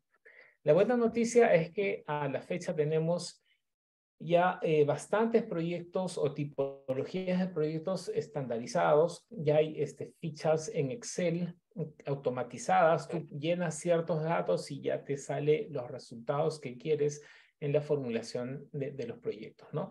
Capaz el saldo eh, que falta, el, el, el, siguiente paso podría ser eh, informatizar eso en un entorno web, ¿no? O sea, ya no tener la ficha en Excel, sino tener formularios dentro del banco de inversiones y uno va registrando y se va este, cargando y ya sea mucho, eh, eh, digamos, más, más sencillo, más versátil, más amigable eh, trabajar, ¿no? capaz ese es el siguiente paso que nos falta hacer, ¿no? Pero en principio, tú haces la ficha estándar si es que tu tipología de proyectos ya está estandarizado, ¿sí?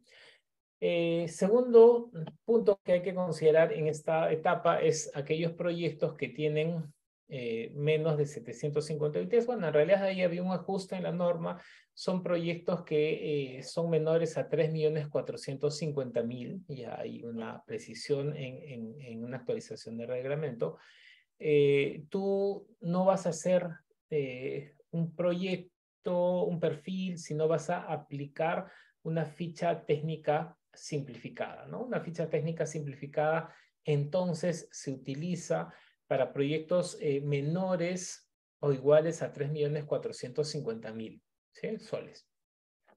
¿Ok? Eh, esta ficha simplificada es eh, uno de los cuatro tipos de documento técnico que existen y como su nombre lo dice, es una ficha este, un poco más simple, no es que sea simple, sino es un poco más simple, un poco menos compleja eh, que los otros instrumentos, ¿sí? Eh, si tus proyectos no están estandarizados eh, y son más grandes, entonces tú tienes que hacer tu ficha de baja o mediana complejidad o tienes que hacer tu perfil, ¿de acuerdo? vamos a hablar un poquito más de eso cuando veamos la etapa de, formulación, pero lo que quiero rescatar acá es que hay varios tipos de documento técnico cuya aplicación depende del nivel de complejidad del proyecto, ¿no?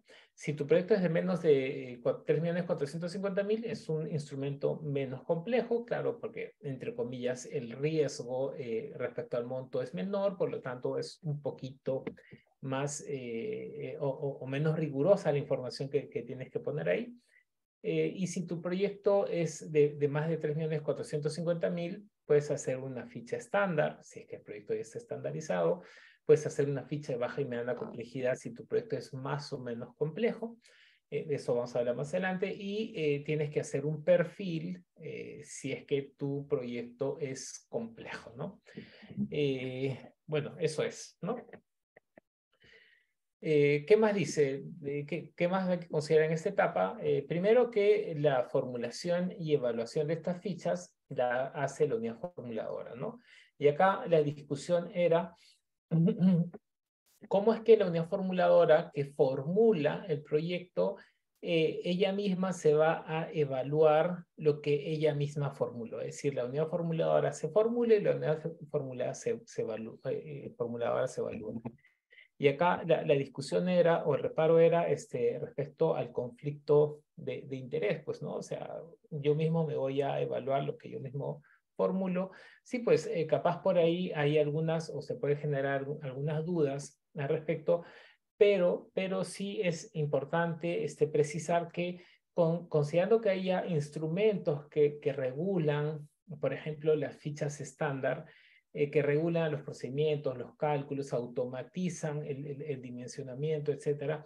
Entonces, se hace menos probable este, que la unidad formuladora sea muy discrecional. ¿no? Es decir, la unidad formuladora no va a ser eh, no va a tender a hacer lo que le, le, venga en, gana. ¿Por qué? Porque ya hay instrumentos que están regulando, están este, eh, proponiendo estos lineamientos y estas metodologías específicas. ¿no? Entonces, sí hay el riesgo, pero ese riesgo se mitiga en función a eh, la existencia de estos instrumentos metodológicos. ¿no? Ok, ¿qué más? en la formulación y evaluación. Eh, habíamos dicho que hay dos tipos de inversiones, ¿no? Eh, los proyectos de inversión y los que no son este, proyectos de inversión, ¿no? Eh, los proyectos de inversión conceptualmente, como nos dice la lámina que estamos viendo, conceptualmente un proyecto de inversión, primero es una intervención temporal, ¿no? No es una intervención recurrente, no es una intervención permanente.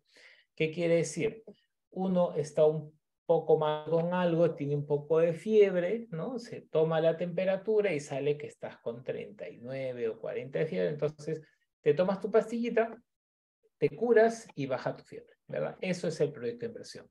Identificas una problemática, ves que sus indicadores, ves que hay una brecha, entonces lanzas el proyecto, lo ejecutas y con eso se cierra la brecha, ¿verdad? Ok, temporal una intervención temporal.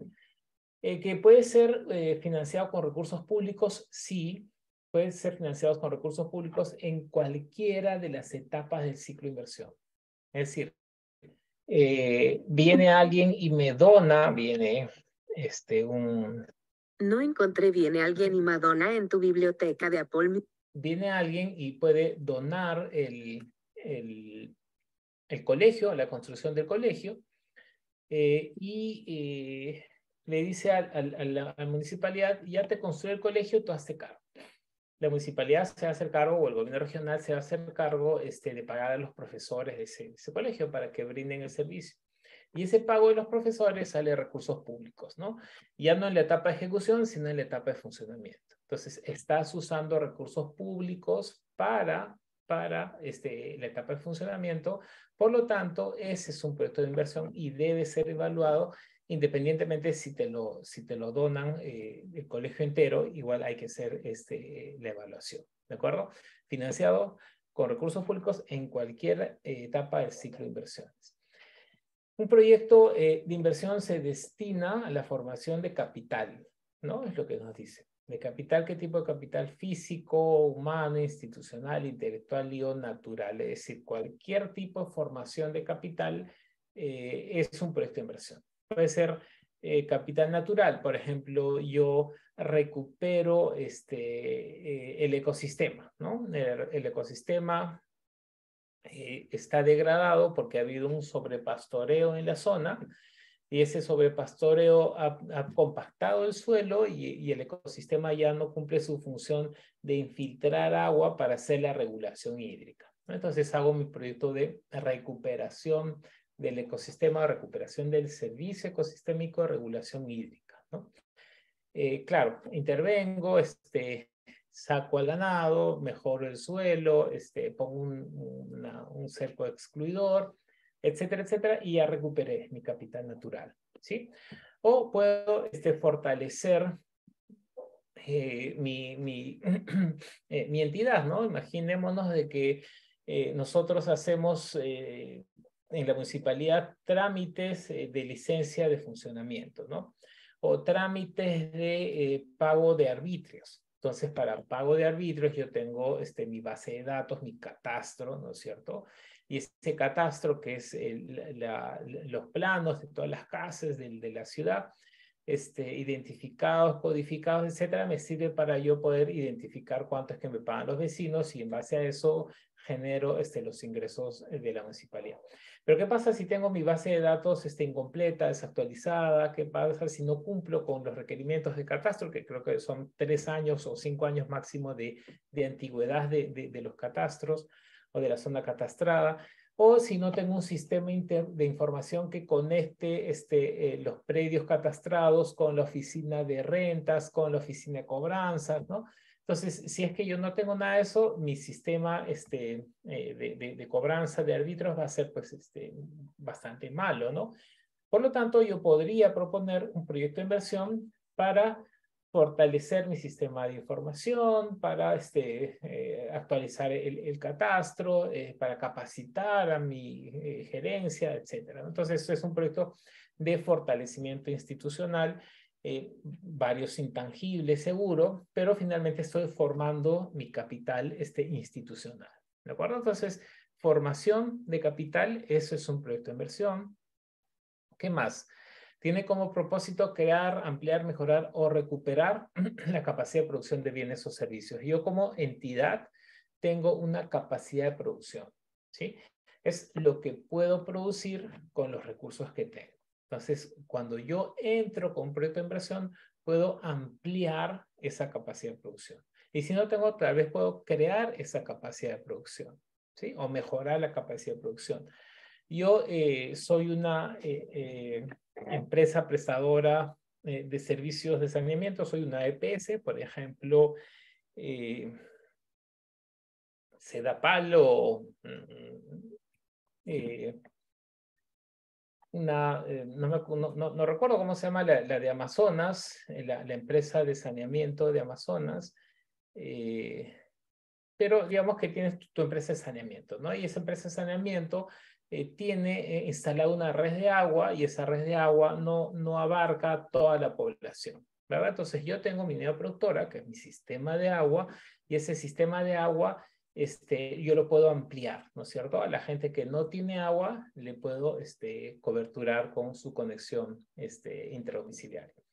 Pero imaginemos que la población que está con el servicio este, está recibiendo un servicio inadecuado. Es decir, yo abro el caño y me sale agua sucia, por ejemplo. Entonces yo puedo, además de ampliar la zona donde, donde no tienen agua, puedo mejorar mi este, provisión de servicio de agua. Por más que tenga agua, el agua no es de calidad, por lo tanto puedo mejorar el servicio. ¿Sí? Entonces puede ser un proyecto de mejoramiento, un proyecto de ampliación. No existe el sistema de agua, entonces yo creo un sistema de agua o este, se, se, se malogró, entonces recupero la capacidad de producción de mi sistema. ¿De acuerdo? Todo eso, todas esas intervenciones son consideradas como proyecto de inversión. Pero, pero por otro lado tenemos a proyectos que no son considerados proyectos, sino son inversiones de optimización, ampliación, rehabilitación o reposición, o las famosas IOR, ¿no es cierto? Esto, de esto hemos estado hablando.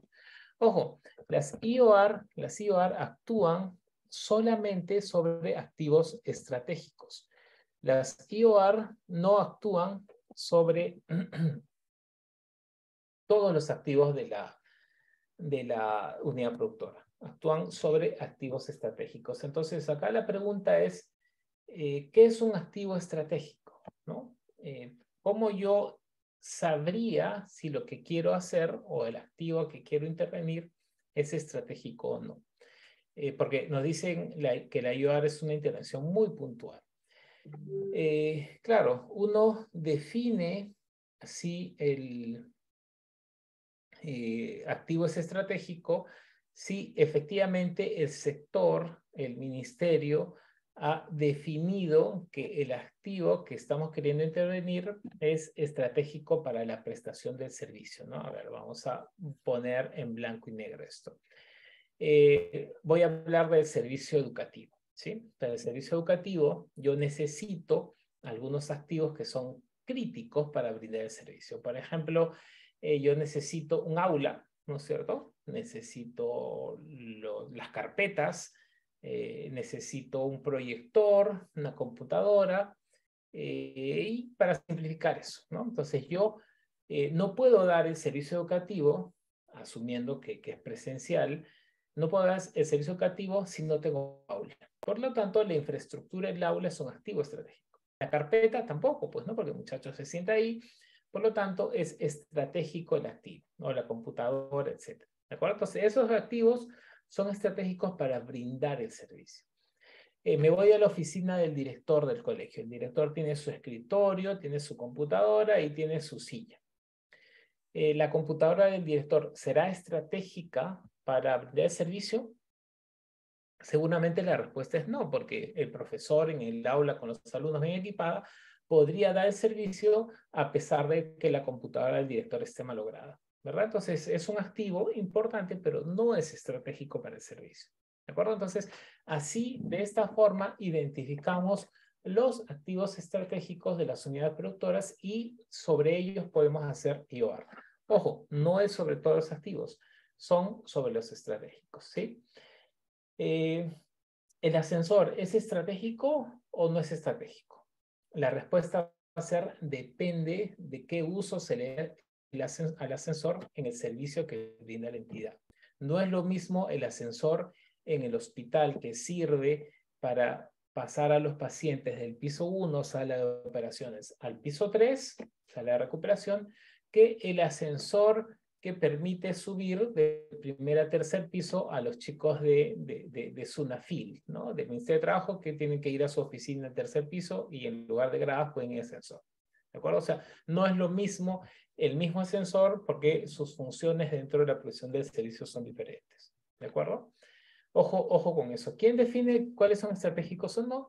Lo define el, el propio sector. Eh, la, la, mala noticia es que no todos los sectores han eh, eh, sacado su, relación de activos estratégicos, ¿no? Hay muchos que no han sacado sus activos estratégicos, este, porque seguramente están todavía construyendo, están todavía en proceso, eh, pero eh, la idea es que si yo no tengo la relación de activos estratégicos todavía definida por sector para todos los proyectos, que son un montón, eh, yo pueda definir si es que es o no estratégico en función a, esta explicación, ¿no? Ok, entonces, si es activo estratégico, hago una IOR, hago una ampliación, una optimización, una rehabilitación, una reposición en esos activos. ¿Sí? Preguntas, comentarios. consultas, a ver, abrimos el espacio.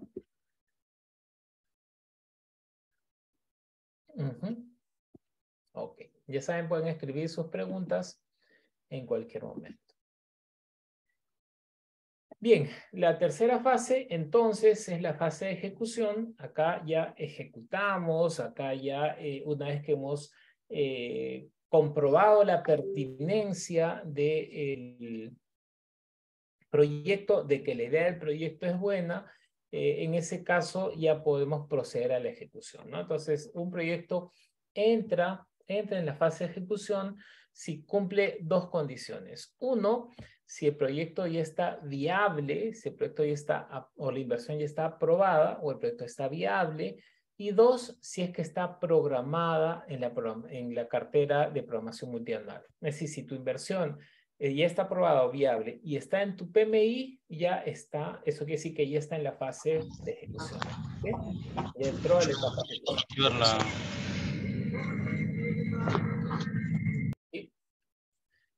Ok, eh, ¿qué hacemos en esta etapa de ejecución? Hacemos dos cosas. Elaboramos el expediente y eh, ejecutamos la, la, obra o ejecutamos el proyecto. ¿no?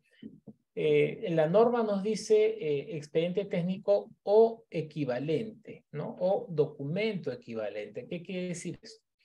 Cuando hablamos de expediente técnico, eh, el expediente técnico, este tipo de documento está asociado a una obra, está asociado a infraestructura, ¿de acuerdo? Pero no todos los proyectos son necesariamente de infraestructura.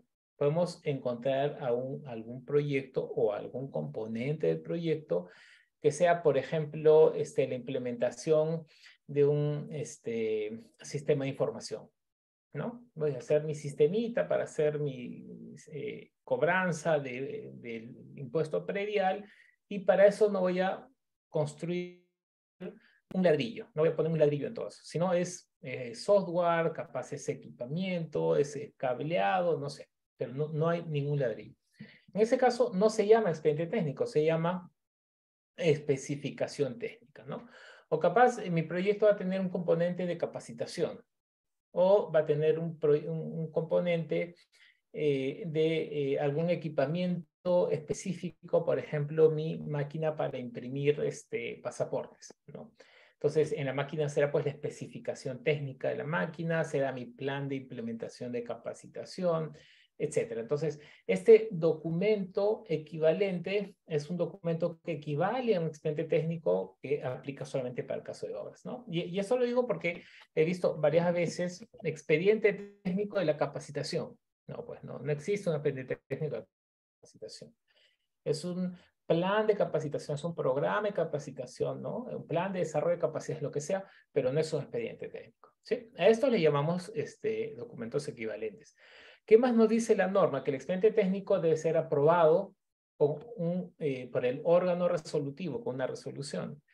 Pero también es cierto que los documentos equivalentes, por ejemplo, la especificación técnica, podría ser aprobado, podría ser aprobado con algún documento que no sea la resolución este, eh, del expediente técnico, ¿no? Entonces, esto va a depender mucho de cómo la entidad se organiza, de cómo la entidad eh, tiene como usos y costumbres aprobar este tipo de documentos. ¿no? Entonces, el expediente técnico sí nos dice la norma que es acto resolutivo, pero los documentos equivalentes podrían ser eh, también un resolutivo, pero capaz ya no de la alcaldía o de la de gobernador o de la agencia general, sino podría especificarse eh, de acuerdo a cada entidad. ¿no? el expediente técnico es elaborado por la unidad ejecutora, como ya saben. Acá sí es importante precisar que el, en la, la unidad ejecutora debe eh, conservar, debe, debe, preservar, debe sujetarse a la concepción técnica eh, del documento declarado viable. ¿no? ¿Qué quiere decir eh, concepción técnica? Quiere decir que si yo propongo, si yo propongo, por ejemplo, para mi colegio, infraestructura, equipamiento, este, capacitación, esos tres componentes eh, son los que yo debo mantener en mi, en mi expediente técnico. ¿sí? Eh, puedo cambiar, este, por ejemplo, el número de aulas, ¿no? Digo, ya no son cinco aulas, sino son este, eh, cuatro aulas, ¿no? Ya no son 10 kilómetros de carretera, sino 9.5. O sea, puedo cambiar la meta, sí. Pero no puedo cambiar la concepción técnica del proyecto. Es decir, no puedo cambiar ya no hago este, el colegio, sino eh, hago el, hospital, ¿no? Eso no lo puedo hacer, ¿de acuerdo? Entonces puede haber cualquier tipo de modificación, sí, siempre y cuando no se altere la concepción técnica del proyecto. ¿Y qué es la concepción técnica? Lo vamos a ver cuando eh, veamos la etapa de formulación y evaluación, ¿sí? Eh, ¿Qué más? ejecutamos el proyecto y hacemos los eh, registros eh, que corresponden, ¿no? El formato 8, el formato 12, eh, lo que estábamos comentando hace, hace un rato, ¿no? Entonces acá ejecutamos el expediente, ejecutamos la obra, registramos los cambios que se vayan a suscitar durante la ejecución física antes de ejecutarlos, por supuesto, ¿no? ¿Quién es el dueño de esta etapa? Entre comillas, dueño, es la unidad ejecutora de inversiones. Cuando yo eh, formulo el proyecto y lo declaro viable, voy a regresar. Cuando estoy en esta etapa, formulo y declaro viable, una vez que se declara viable el proyecto, pasa a responsabilidad de la unidad ejecutora. Es decir, todo lo que ocurre en esa etapa es responsabilidad de la unidad ejecutora. Cualquier modificación que se tenga que hacer, lo tiene que sustentar la unidad ejecutora y tiene que responsabilizarse de esas modificaciones.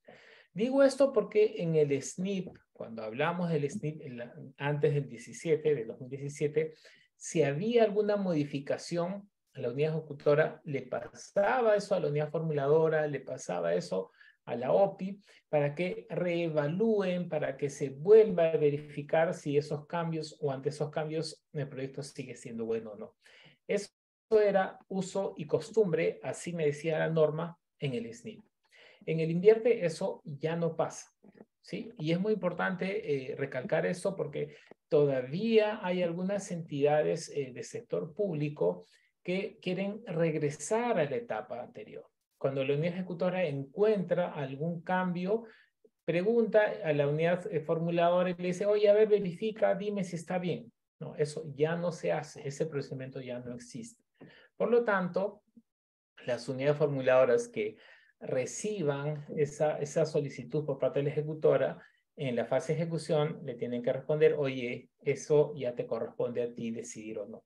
¿Y por qué es esto? Porque había mucha queja de las unidades ejecutoras eh, en el sentido de que se eh, rehacían, se demoraban, se tenían que reevaluar y eso demoraba la inversión.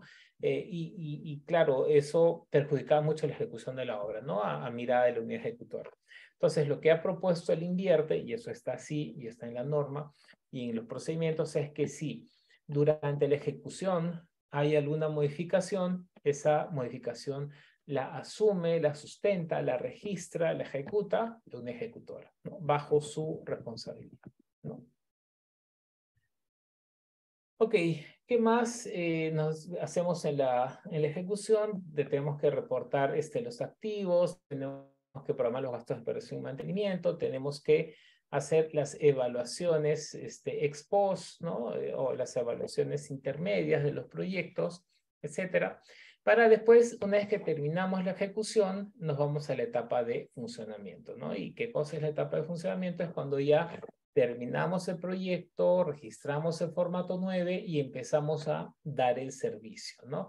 Es decir, eh, damos el servicio, eh, operamos y mantenemos todos los activos que hemos generado con el proyecto. ¿Sí? Rápidamente, eh, los actores del sistema. ¿Quiénes son los que juegan este juego del invierte? Primero tenemos al MEF, ¿no? la Dirección General de Programación Multianual y Gestión de Inversiones. Acá está Daniel Leiva, Daniel es el director general.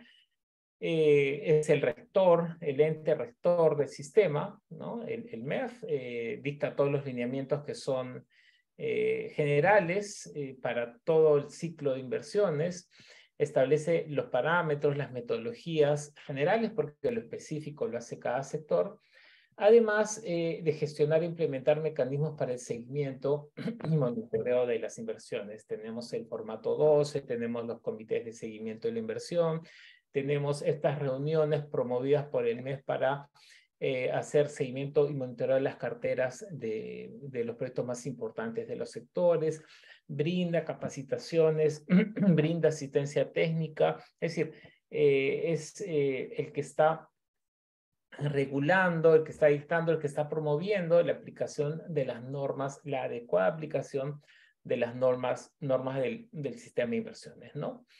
Eh, entre otras cosas, lo que hace el MEF es administrar el banco de inversiones, dictar los procedimientos de ciclo de inversión, eh, elabora el PMI o la programación multianual del Estado en base a la programación multianual de cada una de las entidades. Decía, entre enero y marzo las entidades hacen su programación multianual. Esa programación multianual es eh, agregada, es este, tomada por, por el MEF para construir la gran cartera de programación multianual de inversiones del Estado, ¿no? ¿Qué más hace el MEF? Aprueba los contenidos eh, mínimos, las fichas, las metodologías generales para los documentos técnicos, da capacitación, asistencia técnica, genera o emite opinión vinculante respecto a si es que estás aplicando bien o mal el ciclo de inversiones y cuando se trata de proyectos este, financiados por endeudamiento, por recursos eh, oficiales de operaciones de crédito, eh, entonces eh, aprueba o evalúa los proyectos. ¿no? Otro órgano es el órgano resolutivo. Este es el órgano que es el encargado de dar las resoluciones en las entidades públicas, digamos las, las resoluciones de, más alto nivel, es, en otras palabras, el alcalde, el gobernador, el gobernador regional o el ministro, ¿verdad? Entonces es el resolutivo de la entidad. ¿Qué hace el resolutivo? Es el jefe, ¿no es cierto?, de la entidad, eh, presenta y aprueba eh, la cartera de proyectos de la programación multianual, aprueba los indicadores de brecha, designa quiénes van a ser sus eh, funcionarios de, de, la OPMI, de la unidad formuladora y ejecutora, y autoriza la elaboración de los expedientes. ¿no? Entonces es el el gran actor, el que toma las decisiones dentro de la entidad, pero toma las decisiones en función a lo que les dice sus órganos técnicos, ¿no? Por ejemplo, la OPMI, la Oficina de Programación Multianual de Inversiones, que es el responsable de la fase de programación multianual, eh, propone la cartera, eh, la OPMI propone la cartera y el resolutivo aprueba, ¿no? La OPMI no aprueba, sino le dice, alcalde, esto es lo que tenemos previsto de acuerdo a estos criterios, ¿no? Y el alcalde aprueba. La OPMI realiza el seguimiento de las metas eh, de los productos, de las metas de los indicadores durante la fase de ejecución. Entonces la OPMI está viendo a la unidad ejecutora eh, que cumpla eh, los plazos, las metas, los objetivos de los proyectos y de la CIOAR que se han propuesto como parte de la cartera de inversiones, ¿no? además de monitorear el avance de la ejecución de los proyectos, ¿no? El OPMI, eh, perdón, el resolutivo entonces presenta al MEF el PMI, ¿no? antes de, finalizar el primer trimestre, aprueba el PMI y las OPMIs, ya hemos dicho, ¿no? Realizan, monitorean y hacen seguimiento. Luego tenemos a las formuladoras, las unidades formuladoras son las que formulan y evalúan los proyectos de inversión, los que registran y aprueban las IOR, ya hemos dicho, las IOR no se formulan y evalúan, solo se registran y se aprueban. Eh, y para esto, claro, se aplica la metodología que el MEF me, ha propuesto, que el ha eh, propuesto para las diferentes tipologías de proyectos, ¿no? Y eh, elabora entonces los documentos técnicos en base a la programación multianual, ¿no?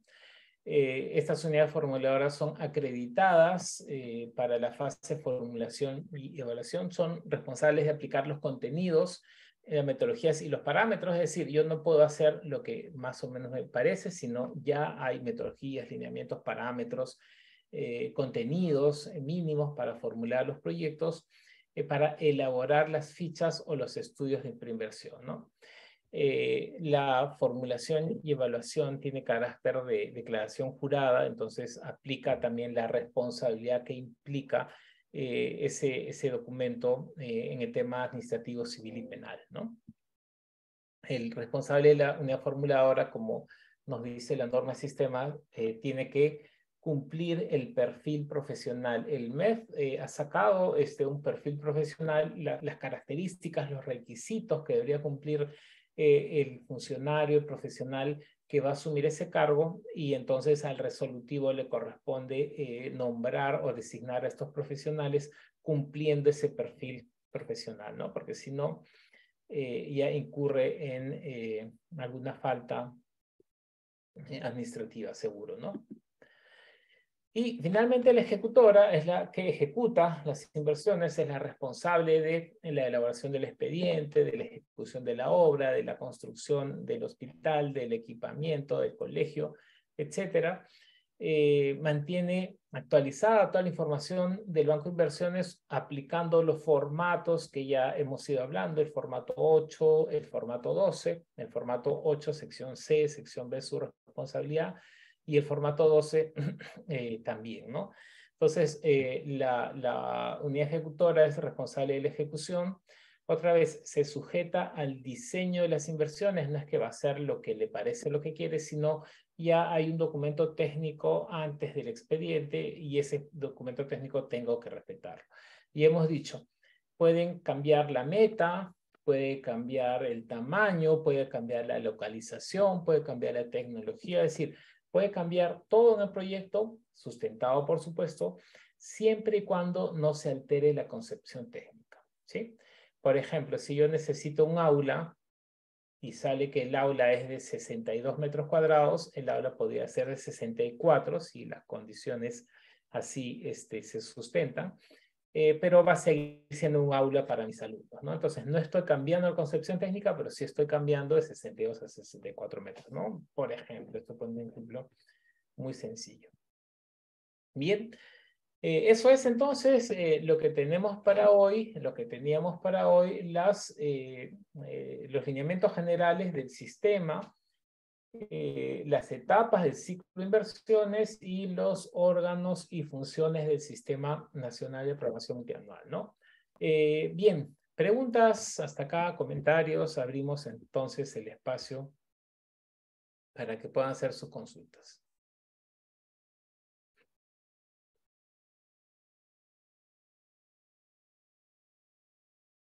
Mientras se animan a las consultas, eh, les recuerdo que la siguiente sesión es el día lunes. El día lunes vamos a hablar de la fase de programación multianual de inversiones, ya específicamente de la fase de programación multianual, de qué se trata, cuáles son los pasos, cuáles son los procedimientos.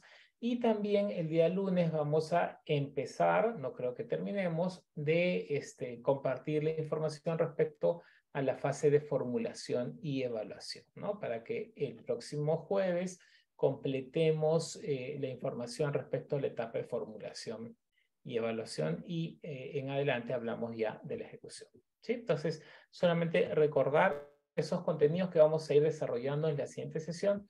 Ahora sí, si se animan, alguna pregunta, comentario, adelante, por favor. Buenas noches. Respecto a las modificaciones que, que, se hacen en la etapa de la elaboración del expediente, eh, he visto que en algunos este, documentos equivalentes, mm, como hay diferentes componentes y algunos de ellos se, se desarrollan por etapa, ¿no? Eh, entonces, este, mm, incluso he visto que se dan cambios eh, hasta en la denominación de las acciones. Mm, bueno, y, me ha generado siempre la duda eso, si es procedente o no. A ver, eh, muchas gracias, Mabeli, por, por la pregunta. Eh, adelantándonos un poquito, ¿ya? yo tengo yo tengo el problema, vamos a poner como ejemplo, este, o un ejemplo para poder explicar un poquito mejor. Voy a hacer una intervención en un proyecto, una tipología de educación, ¿de acuerdo? Entonces, mi problema central es eh, que mi institución educativa este, no tiene condiciones adecuadas o el servicio educativo no se brinda en condiciones adecuadas. Ya ese es mi problema central. ¿Y por qué no se brinda? Sabemos que construimos el proyecto a través de, del modelo lógico del árbol de problemas. ¿Por qué no se eh, brinda un buen servicio? Porque mi infraestructura está mal, mi equipamiento está mal y mi capacitación está mal, ¿no? Estoy simplificando solo el análisis. Ok, entonces para mi eh, proyecto yo voy a proponer las siguientes acciones. Construcción de infraestructura, eh, comprar equipamiento y capacitar a, los profesores. Entonces, esas tres acciones es mi concepción técnica, ¿de acuerdo? Esa es mi concepción técnica. O sea, construyendo la infraestructura, equipando y capacitando, voy a lograr el objetivo. la, reunión de esas tres acciones es mi concepción técnica, ¿sí? Cuando yo planteo el proyecto, lo planteo de esa forma. Si es que yo este, eh, pongo en infraestructura. Y después ya hago el análisis técnico. Digo, no son cinco aulas, sino son ocho. No es 20 metros cuadrados, sino 40 metros. Todo eso sí puede cambiar. ¿sí? Este, lo voy a, eh, voy a comprar esta computadora este, Pentium 3. No, mejor ahora una Core i9, ¿no? O mejor este proyector que ha salido. Eso sí puedo cambiar. Lo que no puedo cambiar son las acciones, la concepción técnica. Es decir, ya no voy a hacer infraestructura ni equipamiento y si no voy a hacer más bien, no sé, pues cualquier otra cosa. Eso, lo que estás haciendo ahí, si cambias las acciones, estás cambiando la concepción técnica.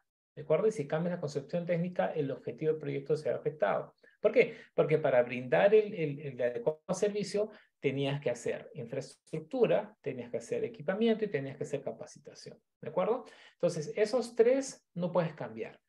¿Cuánto vas a hacer?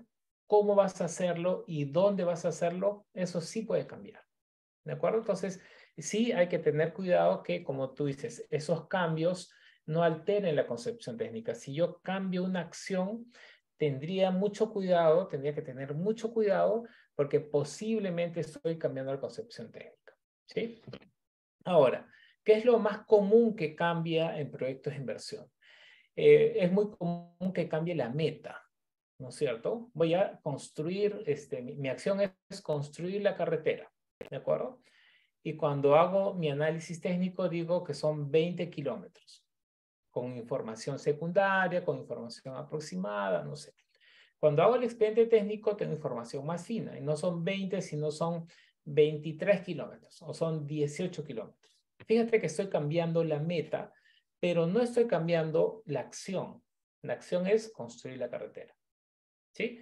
Eso es muy común que pase. Entonces, que cambie la meta es, es bastante más común. Es más, es esperable porque cuando yo hago un perfil o una ficha, eh, no trabajo con información tan profunda.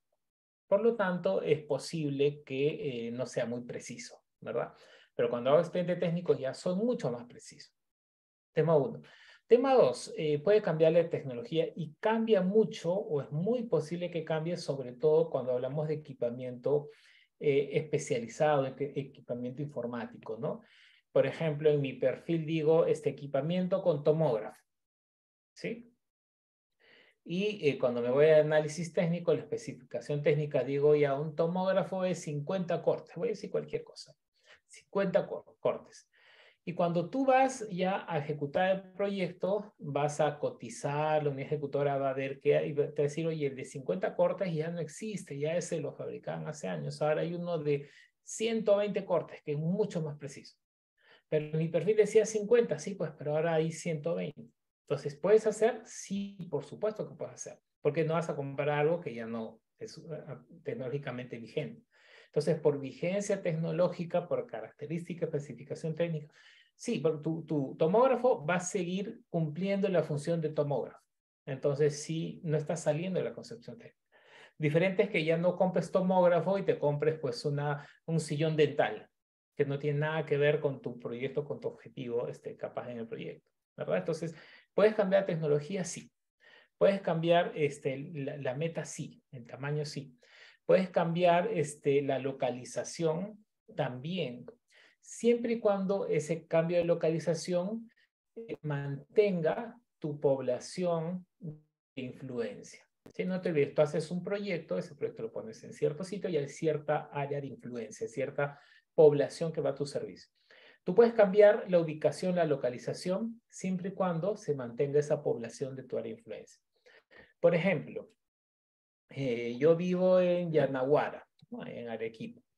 Y Yanaguara tiene una comisaría que es responsable de todo Yanaguara. ¿Sí? No digo que sea así, estoy poniendo solo un ejemplo. Entonces, eh, yo puedo mover la comisaría de la calle Perú a la calle este, Cusco en Yanaguara porque va a seguir siendo el mismo ámbito. Entonces, estoy cambiando de localización, estoy poniéndolo 20 cuadros más allá, pero no cambia mi área de influencia. ¿Puedo hacerlo? Sí, siempre y cuando no cambie mi área de influencia. Pero, pero imagínate que no es una comisaría, sino es un jardín, es un, eh, instituto, institución educativa inicial. La institución educativa inicial, por lo general, dentro de su eh, concepción, tiene eh, a niños de dos kilómetros de radio, o sea, los que viven en un radio de dos kilómetros van a esa institución educativa. Si yo muevo la institución educativa a cuatro kilómetros más allá, su ámbito de influencia va a cambiar. Por lo tanto, está cambiando la demanda, por lo tanto, está cambiando el proyecto. En ese caso, fíjate, es igual, le estoy moviendo de sitio igual que la comisaría, pero cambia su área de influencia. Ahí, en ese caso, ese cambio, o si, si se da ese cambio, eh, no corresponde seguir con el proyecto, corresponde cerrarlo. ¿Sí? Entonces, depende mucho del tipo de proyecto, depende mucho del análisis en cada uno de los casos para ver qué cosa puede cambiar.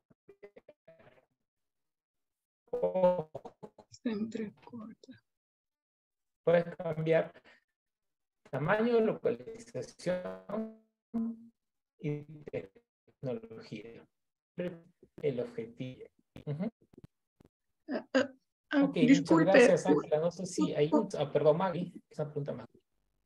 ¿No? una consulta, disculpe. Mm, Mire, no eh, en un proyecto que eh, se estaba ejecutando un proyecto No y sé si me el área donde se estaba interviniendo, eh, sí, ¿me escucha? Disculpe. Ahora sí, ahora sí, por favor, adelante. Eh, en la etapa de ejecución de un proyecto, se intervenían unas ciertas poblaciones. Con producción para mejorar el tipo de producción de café. Pero había algunas poblaciones que no estaban interesadas porque el café no les era muy rentable. O sea, el café era una, un cultivo alternativo, digamos, ¿no? Para erradicar un poco el tema de la, de la coca y todo eso. Entonces, eh, este, hay- estos pobladores se negaban a participar en el proyecto. Entonces, este se quería incluir a otras poblaciones aledañas. Ah, Ahí, ahí, por ejemplo, este, ¿cómo se procedería estando ya en la etapa de ejecución, no en elaboración de expedientes, sino ya en ejecución física?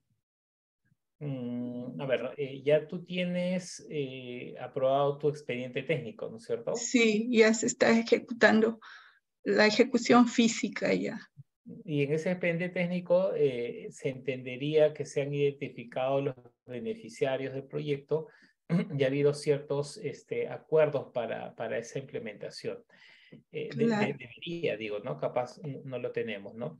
Pero a ver, eh, cuando hablamos de proyectos eh, cuando, donde se hace eh, participación o se hace muy fuerte la participación de los beneficiarios, se suele requerir eh, o, o profundizar el nivel de compromiso para, primero, que no nos pase lo que nos está pasando, ¿no? O sea, yo ya estoy ya metiendo en la máquina y el, el vecino me dice, yo no quiero por acá, tienes que ir por allá. Entonces, ahí había un problema de relacionamiento y de eh, validación este, de, de- de los grupos beneficiarios que ahorita me está pegando, ¿no es cierto? Eh, en principio. Es una lección aprendida. Lo que podríamos hacer acá, igual con la, con la poca información que tengo del, del caso que me das, es evaluar si es que dentro del proyecto tenía eh, a estas poblaciones, digamos, eh, que, que reemplazarían a la población inicial, estaban dentro de- del área de influencia del proyecto, no- Solamente para recordar el concepto.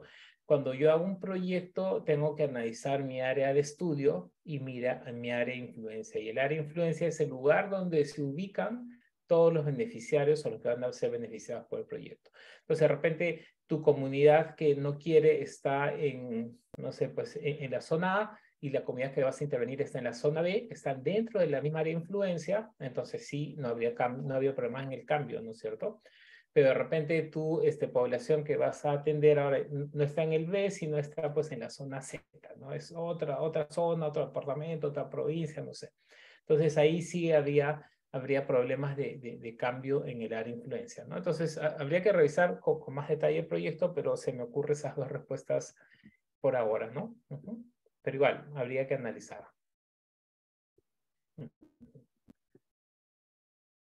Gracias. No, muchas gracias a ti. Eh, bien, no sé si hay alguna consulta más, un comentario más. Si es que no, entonces eh, con esto estaríamos cerrando la sesión de hoy. Y eh, no se olviden, el día lunes, eh, igual a, a minutos después de las 7, empezamos con eh, la sesión 3. eh, ahí seguramente, eh, de repente Edgar tiene algún, alguna recomendación para la próxima sesión. ¿no? Por mi parte, con esto estaríamos cerrando. Muchas gracias. Edgar, adelante, por favor. Muchas gracias, eh, economista Nino. Bueno, invitarles a los asistentes para el próximo lunes. Se va a desarrollar la tercera sesión. Y bueno, con esto estaríamos finalizando la sesión de, de hoy día. Bueno, muchas gracias y hasta el próximo lunes a las 7 de la noche. Gracias, nos vemos. Muchas gracias. Buenas noches con todos y todas.